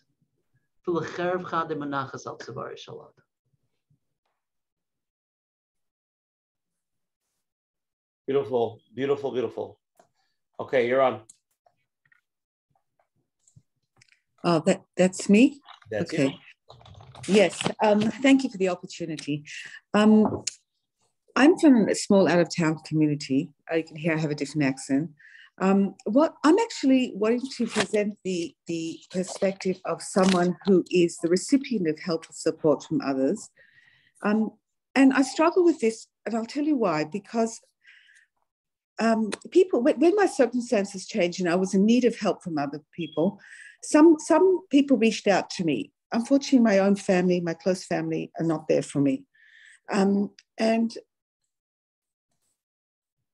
in the main, it's been very comforting to know people really care, especially because my family's not there for me. My issue is that sometimes I feel, and maybe it's just I'm extra sensitive, I feel that I may, they may be doing this because I'm, they want to be doing chesed. Although I do think that the people who reached out to me really do care about me. And this is maybe some work that I have to do. But I tell myself that all I have now in my, these circumstances is my dignity and that I am a regular person like everyone else that difficult things have happened to. This helps me hold my head high and interact with the world in a way that I feel comfortable with. My question is Do you have any ideas how I can deal with this? And how do I differentiate with people who are one who I don't actually feel like I'm a chesed case? I'm not. Um, how do I differentiate between, between people who want to use me as a vehicle to do chesed or those who genuinely care about me? But I just want the reason I'm actually coming, you know, making this a public thing is because I want people to be aware of and be careful when they're doing chesed, helping someone, not to consider themselves superior to other the people who they're helping, because they're everyone really is one step away from something happening to them. And chas don't don't wish it on anybody else. And the other thing also they should realize is I personally work very, very hard to show up in the world that I'm okay and that I'm a normal, regular person and that I'm not affected by my circumstances. But believe me, I am. And I don't want to be treated as a Rahmanas. I want to be treated as a regular person who have difficult things have happened to. I I can't tell you um, how appreciative and I commend you for sharing that with us. I think you, under challenging circumstances, you articulated your feelings well, and it's definitely something um, that I would take with in my work on a daily basis to share your thoughts and how you feel about it. So I, I thank you for sharing that on a public forum. Um, I think someone like yourself can genuinely differentiate between those that care and those that are using you, so to speak, as a chesed project. And ultimately, you're the one facing the challenges and thus are entitled to say who you're going to accept help for and who not. And the third point I would say is that to maintain dignity is, as we said over from, you know, Reb Chaim Shmulevitz says with Shlomo Melech, make sure you maintain that makal, make sure that you have your areas that you're in control over and that you make the, the decision what those areas are and don't allow others to take that over. Yes. Well, actually, that's a, that's something that I, I have become aware of. That is something that I've given away too much power in my life. Yes, um, and that's what been. Okay, thank you for that. Okay, here's um, another hard question that came in. There's this person was just diagnosed with cancer, and they write they have two younger kids I feel not only embarrassed for myself that I'll be starting losing my hair and being weak, but at the same time feel scared for my kids' embarrassment and not sure how to deal with it. The first thing the person needs to do is reach out to an organization that knows how to deal with this, to be able to um, help her deal with her children and deal with herself. Um, and um, you know this this is very very critical because if if it's dealt with correctly, then you know then this situation becomes that much easier to cope with. Um, and uh, it's very very difficult to learn these things on your own. When no one goes to school and you know and learns how to deal with cancer. Uh, when we get married, that's not part of the, uh, the preparation of marriage. How to deal with yourself or with your kids with cancer. Um, so there are organizations. Chai Lifeline is definitely available uh, to be able to uh, give them the the proper hadracha to be able to uh, you know have them cope. What would you tell somebody who doesn't want to feel like a nebuchadnezzar? So I will I will add again reaching out, you know, just to, just to bring at a point. I always say, reaching out to organizations. You know, in a chesed case, sometimes getting friend help from friends, friends and family. It's a chesed case.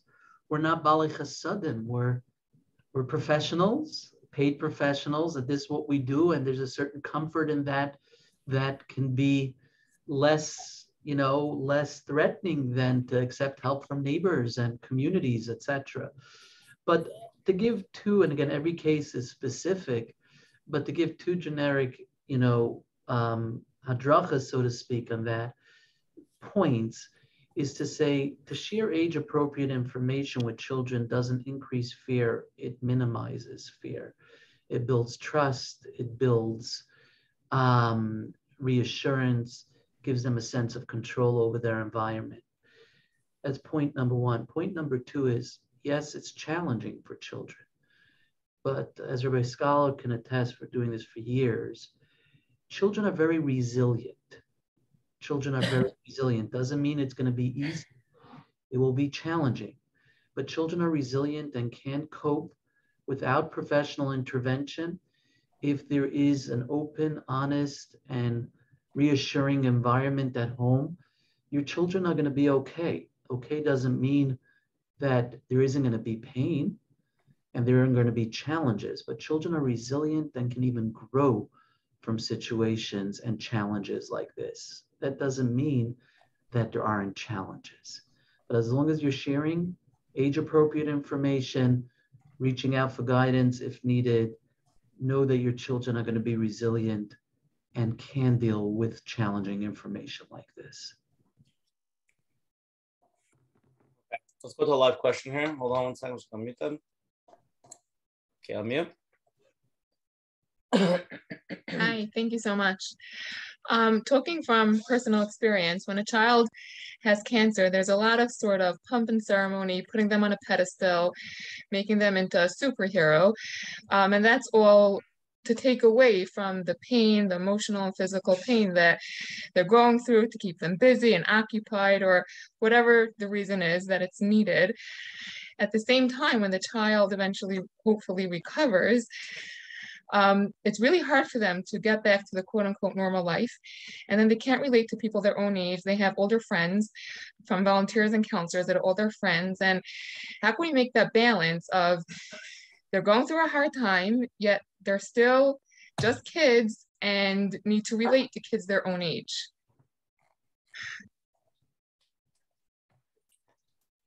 Firstly, um, there are two parts to any life-threatening illness.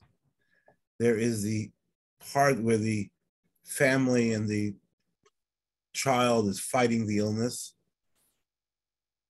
That's part one. And then there's part two is when the illness, Baruch Hashem, is cured, then getting things back to quote unquote normal and dealing with the consequences of that difficult battle. So both things emotionally are, are, are, are equally important. So that's a that's something that's um, something that needs to be recognized. That you know, after all treatments stop, in Baruch Hashem, uh, where we get we ring the bell, um, there's still residual effects that um, that have to be dealt with. Um, and a child that goes through such a difficult situation is a different child. Doesn't mean that they are any worse, chas v'shalom, they're probably better, but it's a, it's a difficult child. It's, it's a different child. They've seen things that most children their age have never seen. Illness, death, the inside of a hospital. They, uh, you know, they've seen a lot of things that uh, would be traumatized to someone that's double their age. So we recognize that post the treatment, there is issues and situations that I think we can reach out to those that are a little bit, uh, perhaps have more experience, uh, to professionals, whether it's Chai Lifeline, whether it's others, to be able to help the family get through that next step. Fried, I'm sure you can add more to this. No, I, I think I think Rabbi Scholar, you brought up a, an extremely valuable point, which is there's a stage of illness, and then there's um, you know the post stage, um, post chemo. Not even talking about the physical implications of that, which we know the concept of uh, chemo brain, etc. But we definitely know that there are kids that need Camp Simcha sometimes a year or two years later um, maybe even more than during treatment. Um, we know for parents, sometimes post treatment can be more challenging than during treatment. Having said that, um, you know, the mother's question was a very powerful one, which is she understood that there needed to be that extra attention, that, you know, to balance that pain and suffering with so many goodies that Disney responds, right? At what point do we stop that? At what point, right? And I think that, you know, to address it to you directly, to the mother, which is to say, you're the most important, you know, a decision maker here, right? Ultimately, you know your child best. You're the best mother. You knew your child before illness. You knew him during illness. You understand that there's still emotional consequences, like Rabbi Scholar said, that can last post illness, but ultimately, you know at what point you have to start, so to speak, graduating a child out. And obviously, if you need the help of a professional, there's always those that you can discuss it with to balance it off. But ultimately, you're the mother that knows it best. Okay. A few more questions I want to cover. Okay, there's important topics, and then we'll try to go to closing. Okay, we're good with time, Rabbi Fried, Rabbi Scholar, we're good? sure. that, that's a very difficult question for those of us that wake up very early in the morning. okay. Since I lost my child, my friends and neighbors seem to stay away from me since they are not comfortable around me. When they are talking about their kids or family vacations, I come near them and they slowly, say, quiet, say that they, they slow it down and they say, Oh, nice to see you. Gotta go now. It's making me feel, why am I losing everything? How do I show people that I want to be treated like just a regular, normal person. I'll never forget Ushi. Um,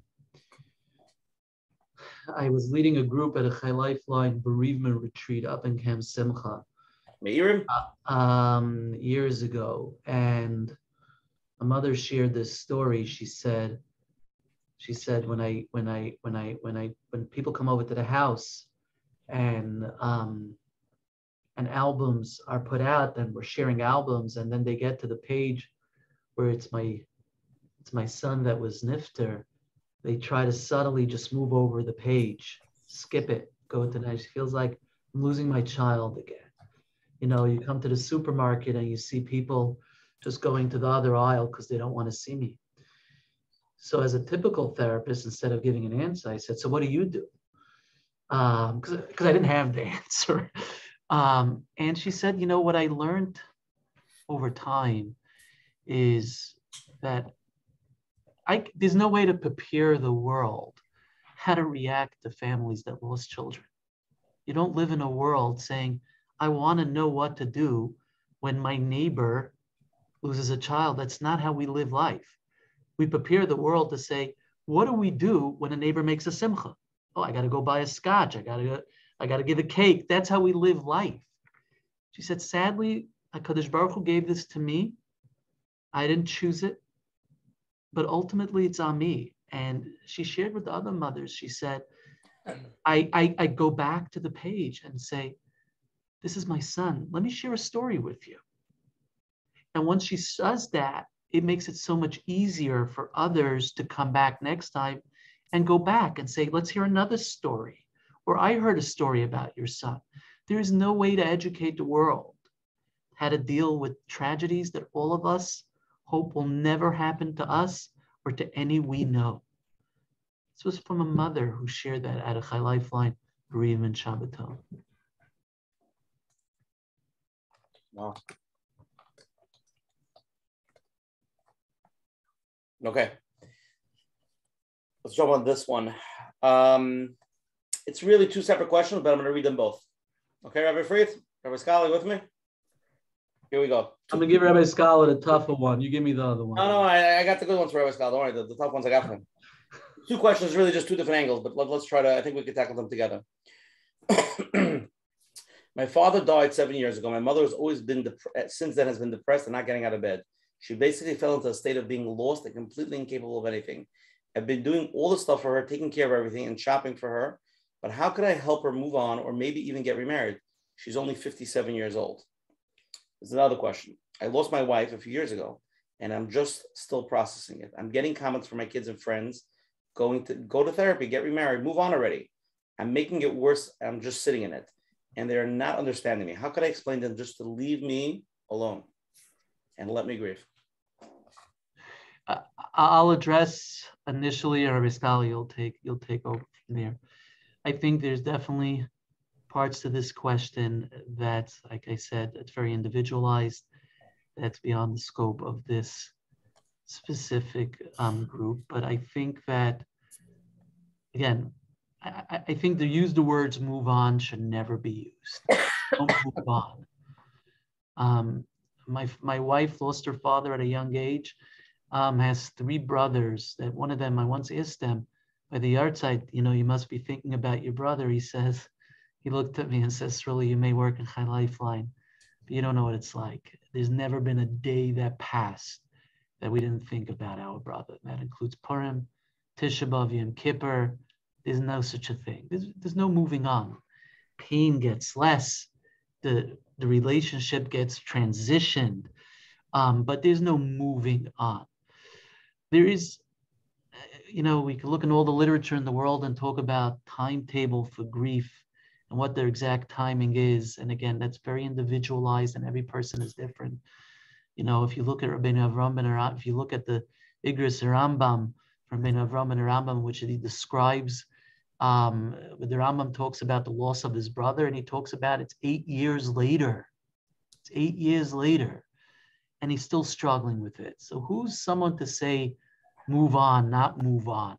I think that the best way you can help somebody is by taking away the words moving on, acknowledging that we can't imagine.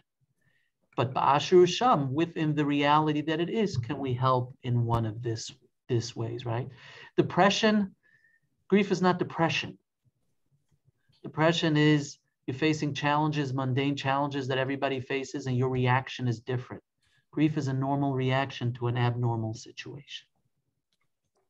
Rabbi Scholar? Um, just to expand upon that, every every individual deals with their situation differently. Um, I I I don't believe that the pain gets less. I believe we get stronger. Uh, when someone loses someone that's that dear to them, a spouse, a child, the pain never gets less. We get stronger. We're able to carry the package better. Uh, moving on doesn't mean you you you moving on doesn't necessarily mean you you leave the package behind.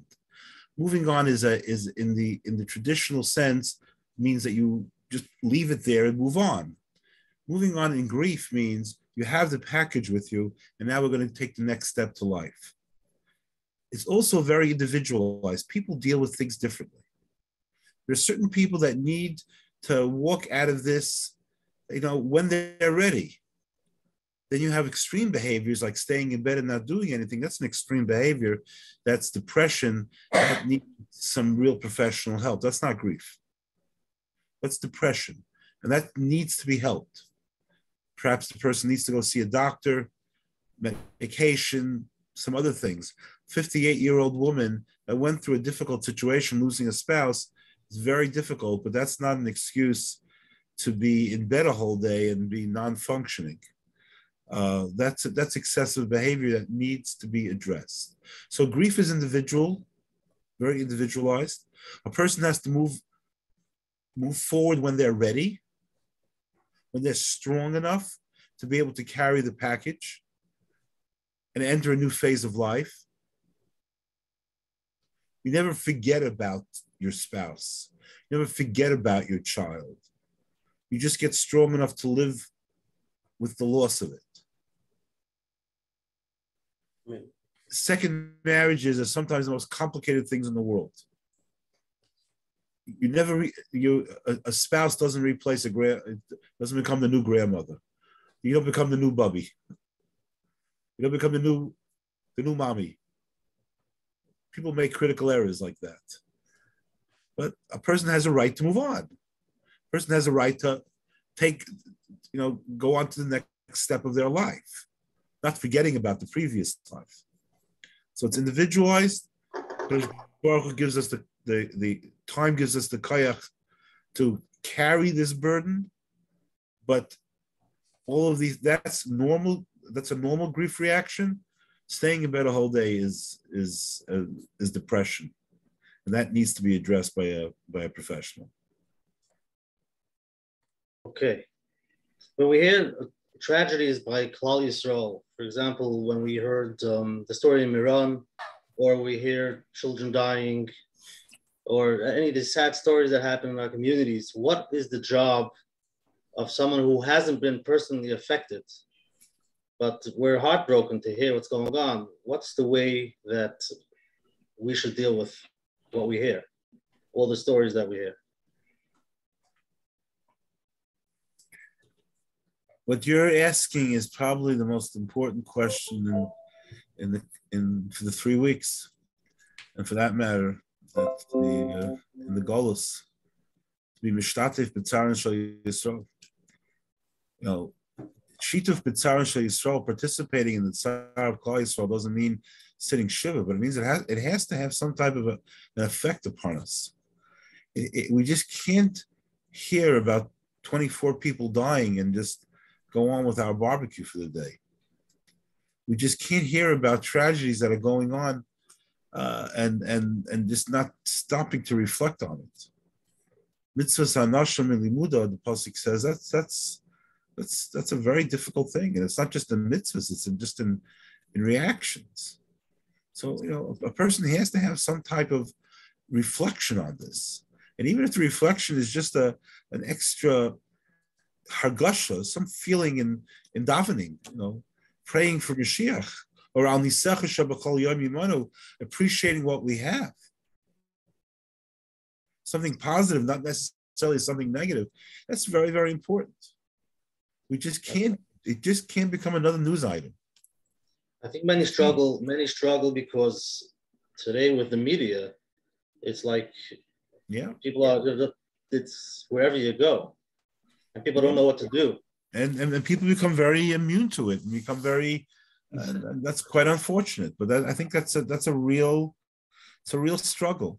I think there is no, there is no simple antibiotic for this. I think we as individuals, as responsible Yidden, need to reflect upon this, uh, especially during the three weeks, especially during the nine days, especially on Tisha B'Av we need to reflect on this. Now, I'm not saying a person should reflect on this every day of their life and stop what they're doing and, and, get into a sense of depression, but on the days that are appropriate for this,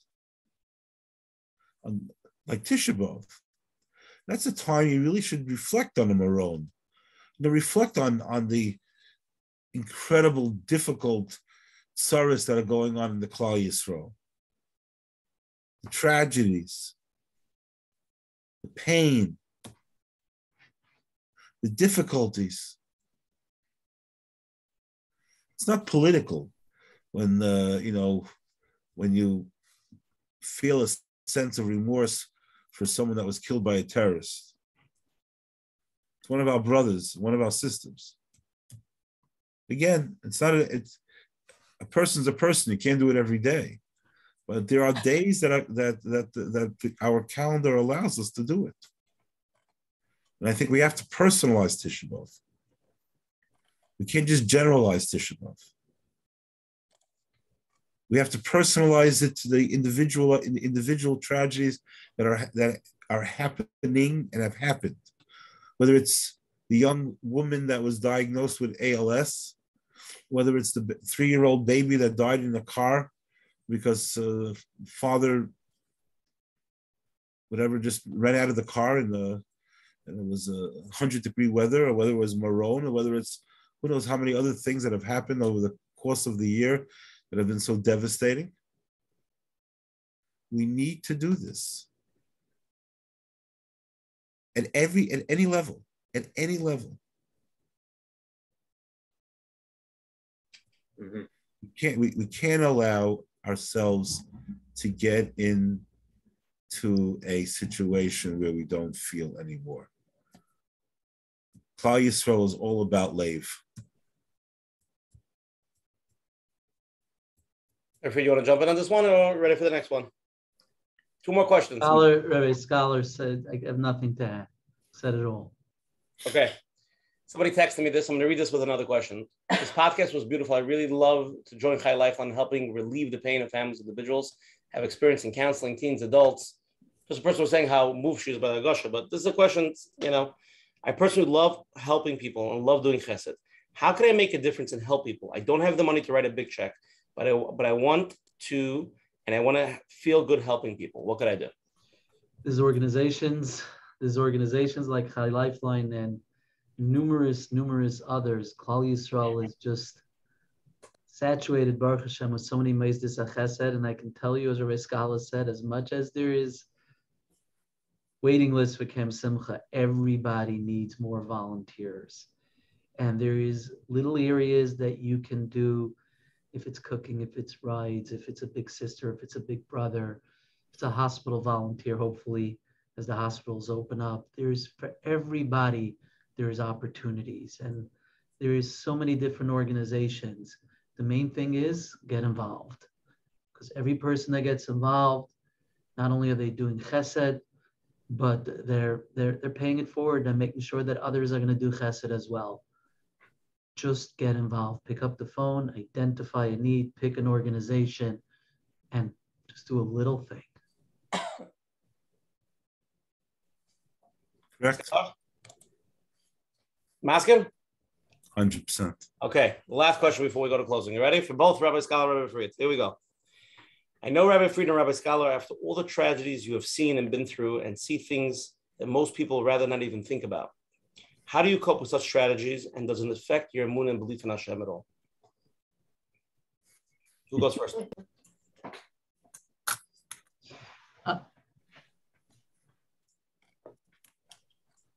Go ahead, Rabbi Fried. Um, I, I, think I think as follows. Um, you know, there's no question that in literally over a generation of doing this myself, I've seen unspeakable tragedy firsthand. The day that I become desensitized and can't feel the pain that I felt in August 2001 when I walked into my first hospital room in CHOP is the day I hang up my skates. It's the day I give it up. The number one thing you have is your heart as a yid to feel with another yid's pain. Does it get hard? Of course. Are there moments where you just don't want to go to work and don't want to go to a hospital or don't want to get the next phone call? Of course. If you didn't have that, then again, it's time to leave. Um, I think it's the acknowledgement of how painful it is and allowing time for yourself and knowing it's okay and not feeling guilty by removing yourself. It's connecting with family um, in the mundane, simplistic things of life, doing homework with your kids, spending time with your family that really puts life into perspective sometimes we live in this world and we think everything is just illness and tragedy.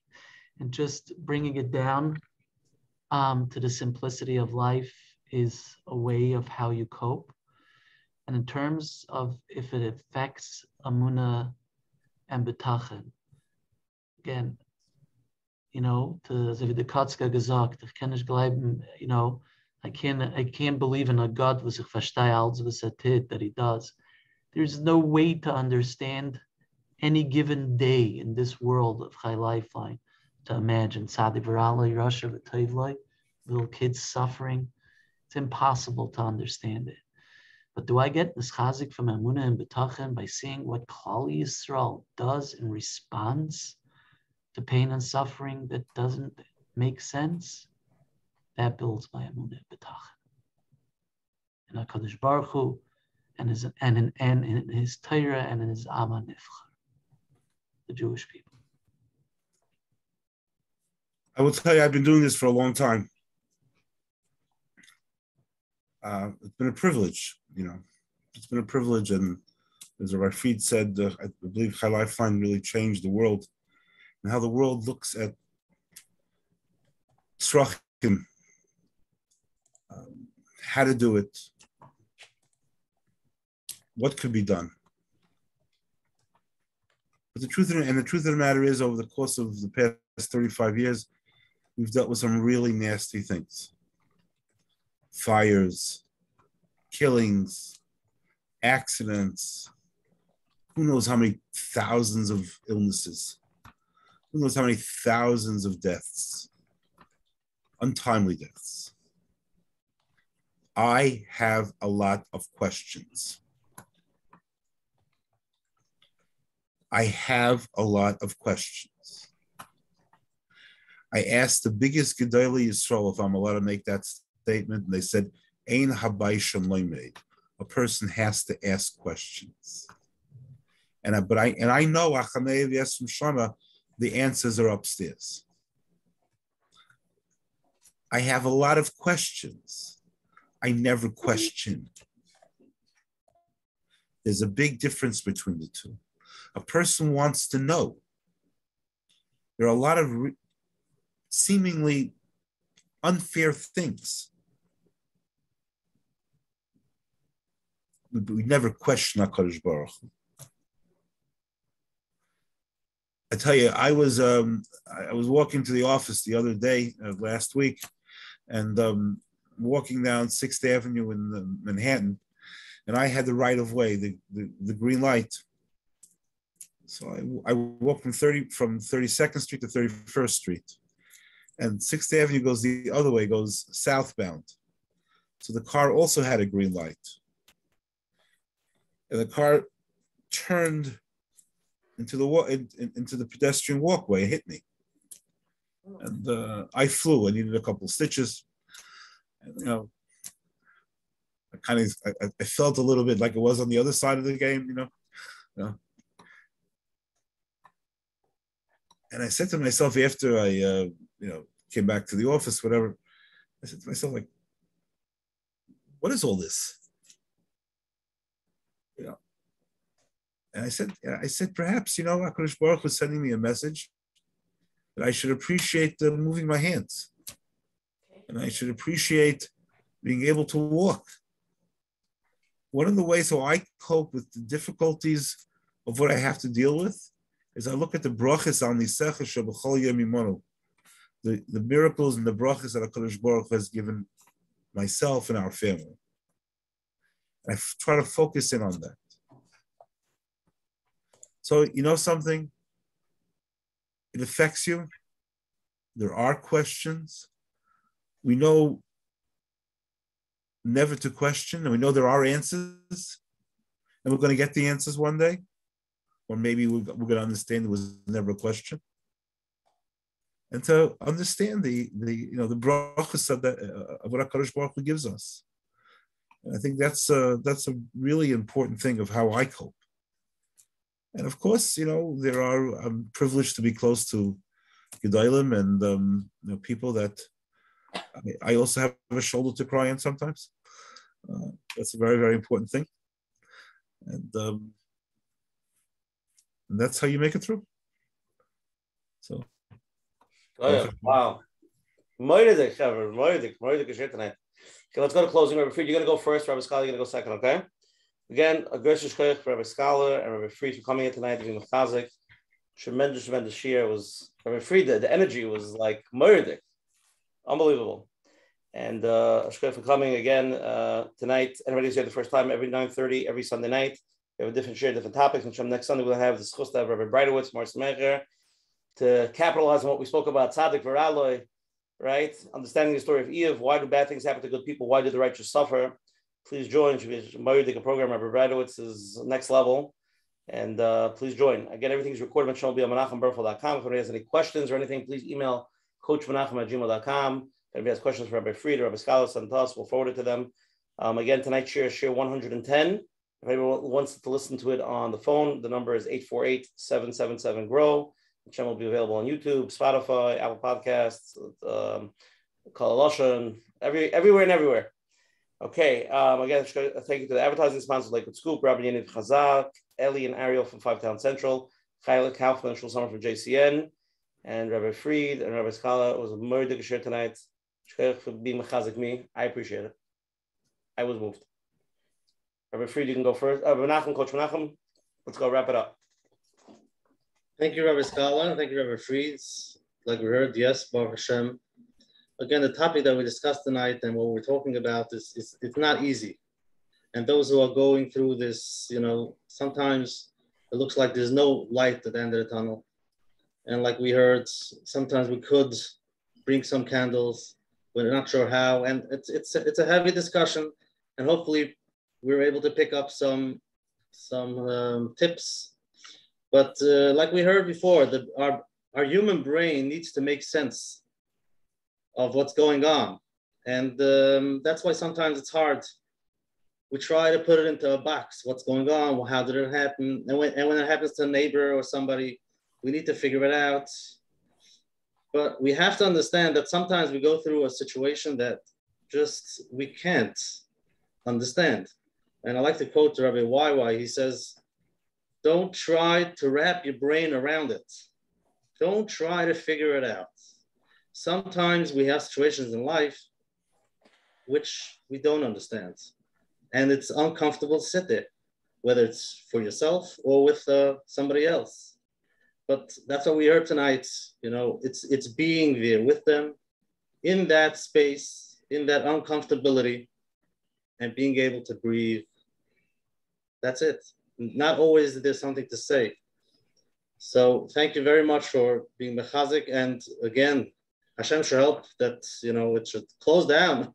The organization should close down. But for those who um, you know, who would like to volunteer and to help, there's always a need. And you're there in the front lines.